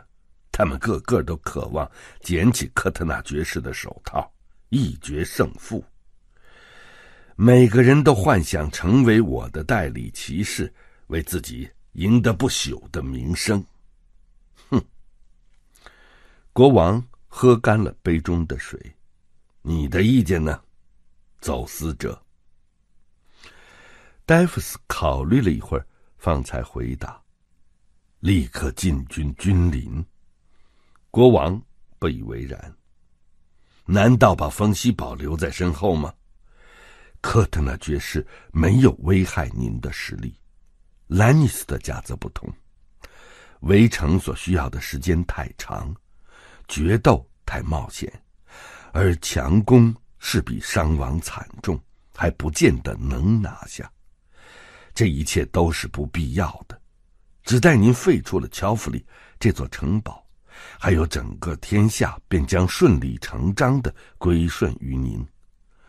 我在军营里听说，泰温·兰尼斯特公爵为从渴望复仇的北方人手中拯救兰尼斯港，也已挥师西返了。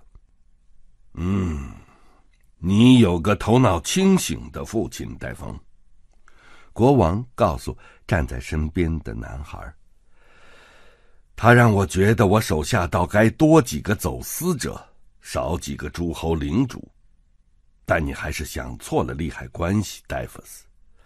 拿下此城，绝对必要。如果我听凭风息堡就这么不受损害的留在后面。”人们就会议论，就会认为我吃了败仗，而这一点我绝不能允许。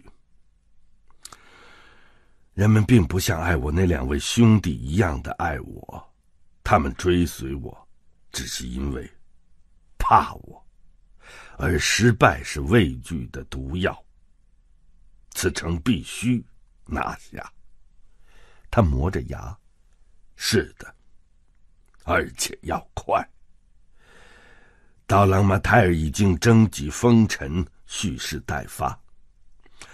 他不但着手加固山口工事，而且多恩大军正向边疆地缓慢的行进。高廷的势力并未受到多大折损。我弟弟把军队主力留在了苦桥，有将近六万步兵。我派我妻子的兄弟艾伦爵士。以及帕门克连爵士前去接管，但至今没有回音。我怀疑罗拉斯提利尔爵士抢在他们之前赶到了苦桥，掌握了兵权。这一切都在敦促我们尽快拿下君临呐！萨拉多桑恩告诉我，萨拉多桑恩算计的只有黄金。史丹尼斯爆发了。他满脑子幻想的都是红堡底下埋藏的财宝。别让我再听到他的名字。如果哪天我得让李斯海盗来教我打仗，我宁可摘下王冠，穿上黑衣。国王攥紧拳头。走私者，你是要为我效劳，还是要跟我做无谓的辩论？我是您的人，戴夫斯说。那就乖乖的听好。科特纳爵士的副手是索菲家族的远亲梅斗大人。此人虽是位伯爵领主，却还年仅二十，没上过战场。如果科特纳爵士不幸身亡，风息堡的指挥权将落入这小子手中。他的佛所谓亲戚们向我保证，他会接受我的条件。县城投降。我记得在危急关头，风息堡的大权也曾落入另一位小伙子手中。当时那位小伙子才二十出头。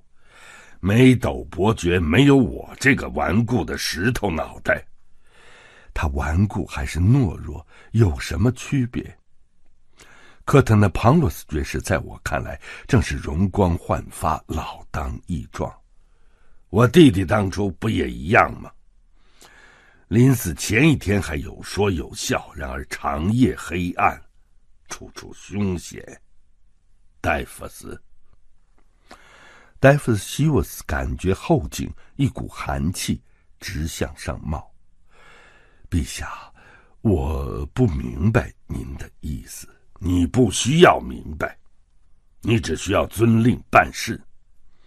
科特纳爵士会在一天之内死去。梅丽桑卓已经在圣火之中遇见了他的死亡，不仅知道他的死期，而且知道他的死法。不用说，他并非死于骑士决斗。斯丹尼斯举起杯子，戴冯连忙用水壶倒水。他的圣火预言从无虚假。从前他预见过兰里的毁灭，早在龙石岛时便见到了，并告诉了塞利斯。瓦雷利安大人和你的朋友萨拉多桑恩一直劝我直取乔弗里，然而梅丽桑卓却说，如果我前来丰西堡，就将赢得我弟弟麾下大军中的精锐部分。事实证明，他是对的。可可可可是，戴夫斯结结巴巴地说：“兰里公爵原本正兵进君临，讨伐兰尼斯特。若不是您围困他的城堡，他根本不会前来此地。他本可以……嗯。”斯丹尼斯在座位上挪了挪身子，皱起了眉头。若不是，本可以。这都是些什么话？他来了就是来了，事实无从更改。他带着他的诸侯和桃子前来此地，迎接他的毁灭。这对我来说可谓一箭双雕，因为梅丽桑卓曾在圣火中看见另一番景象。他看见蓝里全身绿甲自南方杀来。在君临城下粉碎了我的军队。毫无疑问，如果我在那儿遇上我弟弟，死的就会是我，而不是他。你可以和他合兵一处对抗兰尼斯特呀，戴夫斯说，有何不可呢？如果梅丽桑卓能够看见两种未来，那证明两者也都可能为虚呀。国王抬起一根手指：“你错了，洋葱骑士。光的影子不止一个。你站在篝火前面，你自己去瞧瞧吧。火焰变化雀跃，从不静止，因而影子也时长时短。普普通通的一个人，便能映出十几个影子，只是……”有的影子跟其他的比起来，有些模糊罢了。你看，人的未来也是这个道理。但不管他为自己的未来映出了一个还是多个影子，梅丽桑卓都能看见。你不喜欢这女人，我看得出来，戴夫斯，我并不瞎。我手下的诸侯也不喜欢他，伊斯蒙不愿意穿着烈焰红星，他请求为保官雄鹿旗而战。孤德则说女人不配做我的长旗官，还有人窃窃私语说那女人没有资格列席作战会议，说我早该把她遣回亚夏，说我把她留在帐篷里过夜是罪过。你看，他们不停的在说着闲话，而这个女人却一直在为我办事。为什么呢？戴夫斯问，心里却很恐惧问题的答案。该办的都办了，国王望着他，你呢？呃。我，呃，戴夫斯舔舔嘴唇，我是您忠诚的仆人，请问您有何差遣呢？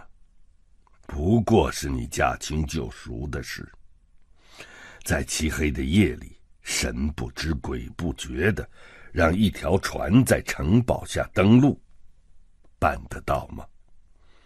呃，是，就在今夜吗？国王略一点头：“你只需带条小船就成，用不着黑贝斯号，但此事必须绝对保密，不能让任何人知晓。”戴夫斯想抗议，他现在是骑士，不再是走私者，更不想当刺客。但当他张嘴的时候，他却说不出话来。这可是史丹尼斯啊！是他公正的君王，他今日拥有的一切都是国王所赐予的。再说，他还得为儿子们着想。哦，诸神在上，那女人到底对他做了些什么？你很沉默，史丹尼斯评论着。哦，我应当保持沉默呀，戴夫斯提醒着自己，但他管不住自己的嘴巴。陛下，您必须拿下此城。我现在明白了，可还有别的办法，更干净的办法。就让科特纳爵士保有那私生男孩吧，如此他一定会投降的。我非留下那孩子不可，戴夫斯。非留下不可，这关系着梅丽桑卓在圣火中看到的另一番情景。戴夫斯不肯放弃。说实话，风息堡里的骑士没有一个敌得过古德爵士或卡伦大人。您手下还有另外上百名出色的骑士。这次决斗提议。会不会是科特纳爵士打算以某种荣誉的方式投降呢？通过牺牲自己的性命？国王的脸上掠过一丝烦乱的神情，好似席卷的风暴。只怕他想耍什么花招。总而言之，不会有决斗。科特纳爵士早在扔出手套之前就注定。一死，圣火之中没有谎言，戴夫斯。虽然如此，却需要假手于我，来让它实现。戴夫斯心里想着，他已经很久很久没有这么悲哀了。于是他再一次在熟悉的黑夜里。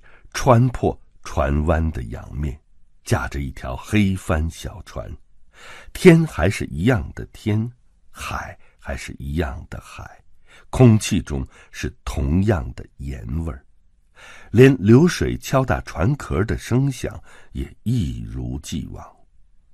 城堡四周包围着上千对闪烁的萤火。此情此景，和十六年前。提里尔与雷德文围城的时候何其相似，然而区别又可谓天差地别。上次我来冯西堡，带来洋葱，带来了生命；这一次，我带来了亚夏的梅丽桑卓，带来了死亡。记得十六年前。在紊乱的海风吹拂下，船帆噼啪作响，噪声不止。最后，他只得下令降帆，依靠大家沉静的摇桨，偷偷摸摸的靠近，心提到了嗓子眼儿。好在雷德温的舰队因为无仗可打，早已松懈下来，他们才得以如柔顺的黑缎子一般摸过警戒线。而这一次。放眼四望，所有的船只都属于斯丹尼斯，唯一的危险是城上的哨兵。即便如此，戴夫斯依然紧张的像拉满的弓弦。梅丽桑德蜷缩在横板上，从头到脚罩着一件暗红色的斗篷，兜帽遮掩下的脸庞一片。苍白。戴夫斯喜欢流水，每当躺在摇晃的甲板上，他便容易入眠，而海风刮在锁具上发出的叹息，在他听来，远比歌手在琴弦上拨出的曲调甜美。然而，今夜连大海也无法给他安慰。我闻到你身上的恐惧，爵士先生。”红袍女轻柔地说。“那是因为有人刚刚告诉我，长夜黑暗，处处险恶。此外，今夜我不是骑士，今夜我再度成了走私者戴夫斯，而您是我的洋葱。”哈哈哈哈哈哈！红袍女大笑起来。你怕的是我，还是我们的差事？这是你的差事，跟我一点关系也没有。不对，帆是你张，舵是你掌。戴夫斯默然无语，将注意力移向船只。岸边是团团纠结的岩石，所以他让船先远远的驶入海湾，避开礁石。他在等待潮汛变更，才好转变方向。风西宝在他们身后越缩越小，但红袍女似乎并不在意。你是好人吗，戴夫斯西沃斯？他问。哼，好人谁会干这种事儿？我是个男人，他说。我对妻子很好，但也结识过别的女人。我努力当个好父亲。为我的孩子们在这个世界争取一席之地。是的，我曾经触犯过诸多律法，但今夜我才首度感觉到罪恶。我只能说我是个复杂的人，夫人。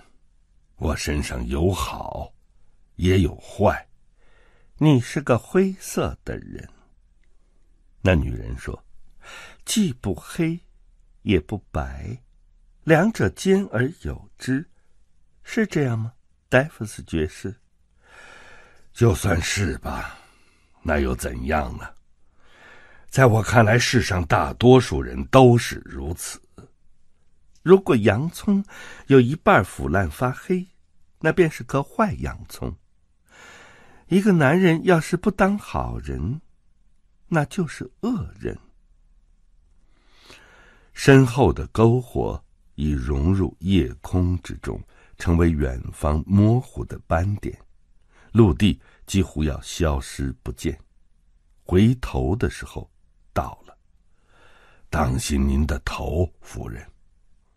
戴夫斯推动舵柄，小船顿时转了个圈掀起一阵黑浪。梅丽桑德低头避开，一手扶在船舷，冷静如常。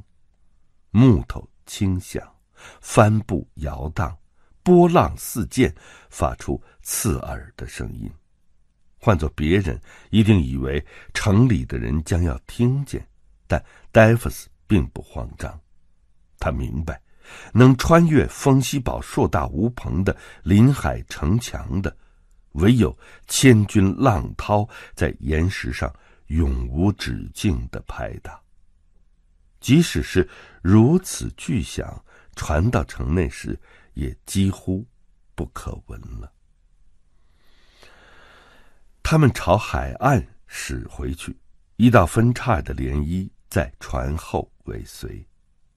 您刚才说到男人和洋葱，戴夫斯对梅丽桑德说：“那么女人呢？他们不也一样吗？”敢问夫人。您是好人，还是坏人呢？这话惹得那红袍女咯咯直笑。哦，问得好，亲爱的爵士先生。从我的角度而言，我也算是某种形式的骑士。我是光明与生命的斗士。然而今夜你却要杀人。戴夫斯说：“正如你杀了黑森学士，你家学士自己毒死了自己，是他打算害我。然而我有伟大的力量保护他，却没有。那兰里贝拉西恩呢？谁杀了他？”那女人转开头，在兜帽的阴影下，她的双目如浅红的燃烛一般炯炯。发光。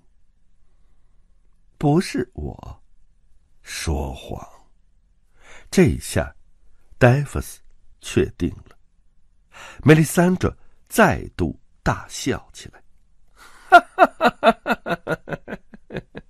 戴夫斯爵士啊，你正迷失于黑暗与混乱之中呢。那未尝不是件好事。戴夫斯指指前方风息堡上飘渺摇曳的亮光。您感觉到了寒风有多凄冷吗？在这样的夜里，士兵们会挤在火炬旁边，一点点的温暖，一丝丝的亮光，这就是他们所能希求的唯一慰藉。然而火把。也令他们盲目，因此他们将不能发现我们的行踪。希望如此吧。暗之神正保护着我们，夫人，保护着你。听罢此言，那女人眼中火光更盛。千万别提起这个名讳，爵士。别让他黑暗的眼睛注意到我们。他并不保护任何人，我向你保证，他是所有生物的公敌。你自己刚才也说了，隐蔽我们的是那些火炬，火，这是真主光之王明亮的礼物。你怎么理解都好，这不是我的理解。这是真主无上的意志。风向在变，戴夫斯觉察得出，更看见黑帆上的波纹。于是他拉住升降索，请帮我收帆，剩下的路我划过去。他们合力将帆系好，小船则摇个不休。戴夫斯摇起桨来，在起伏的黑浪中前进。过了片刻，他开口说：“谁送您去兰里那儿的？”“没必要送。”那女人说。“他根本毫无防护。然而此地，这座风息堡是个古老的地方。”巨石之中编织着魔法，影子不能穿过黑墙。是的，这里的力量或许古老，或许被遗忘，然而仍旧留存。影子，戴夫斯浑身起了鸡皮疙瘩。影子本身就是黑暗的事物。你简直比三岁孩童还无知。爵士先生，黑暗中是没有影子的，影子是光明的仆人，烈焰的子孙。唯有最耀眼的火光，方能映照出最黑暗的阴影。戴夫斯皱起眉头，示意那女人噤声。他们已经再次接近陆地，声音很容易被对面听到。戴夫斯配合着波涛的节律，持续划水。风息堡的临海墙栖息在一片苍白的悬崖上，倾斜而险峻的白垩石壁几乎是外墙的两倍高。山崖底部有个口子，那里正是戴夫斯的目的地，一如他十六年前之所为。那个隧道。直通向城堡下的洞穴，那是古代列位风暴之王的码头。这条路很难走，只有在潮水高涨时才可航行。即便如此，其中也是危险重重。然而，戴夫斯在走私生涯中学来的技巧仍旧不减当年。他在参差不齐的乱石中灵巧的挑选道路。直到洞穴入口笼罩在眼前，他听凭波涛引领自己入洞。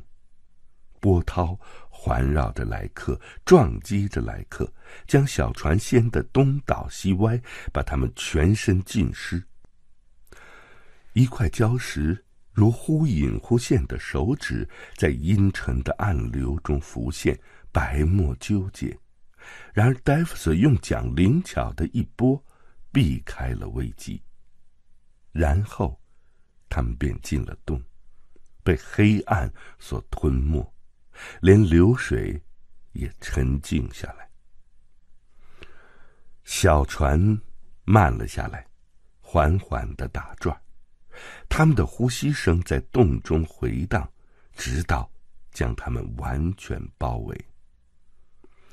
戴夫斯没有想到这里这么黑。上次来的时候，整个隧道插满了燃烧着的火把，饥饿的人们从顶上的杀人洞目不转睛的瞅着下面。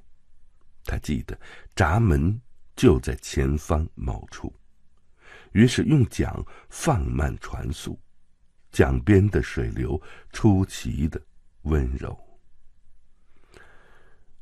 除非您有内应开门。否则，我们只能到这儿了。戴夫斯的低语声在水面掠过，划开一波纹路，犹如一只幼鼠伸出粉红色的小脚，在水中疾步奔跑。我们已在墙内了吗？是的，我们在城堡下方，但无法继续前进。前方的闸门从天顶一直插到水底。门上的铁条十分紧密，就连小孩子也挤不过去。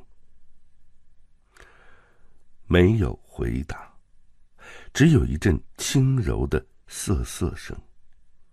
突然之间，黑暗中出现了一道光芒。戴夫斯伸手遮掩，喘不过气来。梅丽桑德掀开兜帽，抖掉一身紧密的斗篷。原来。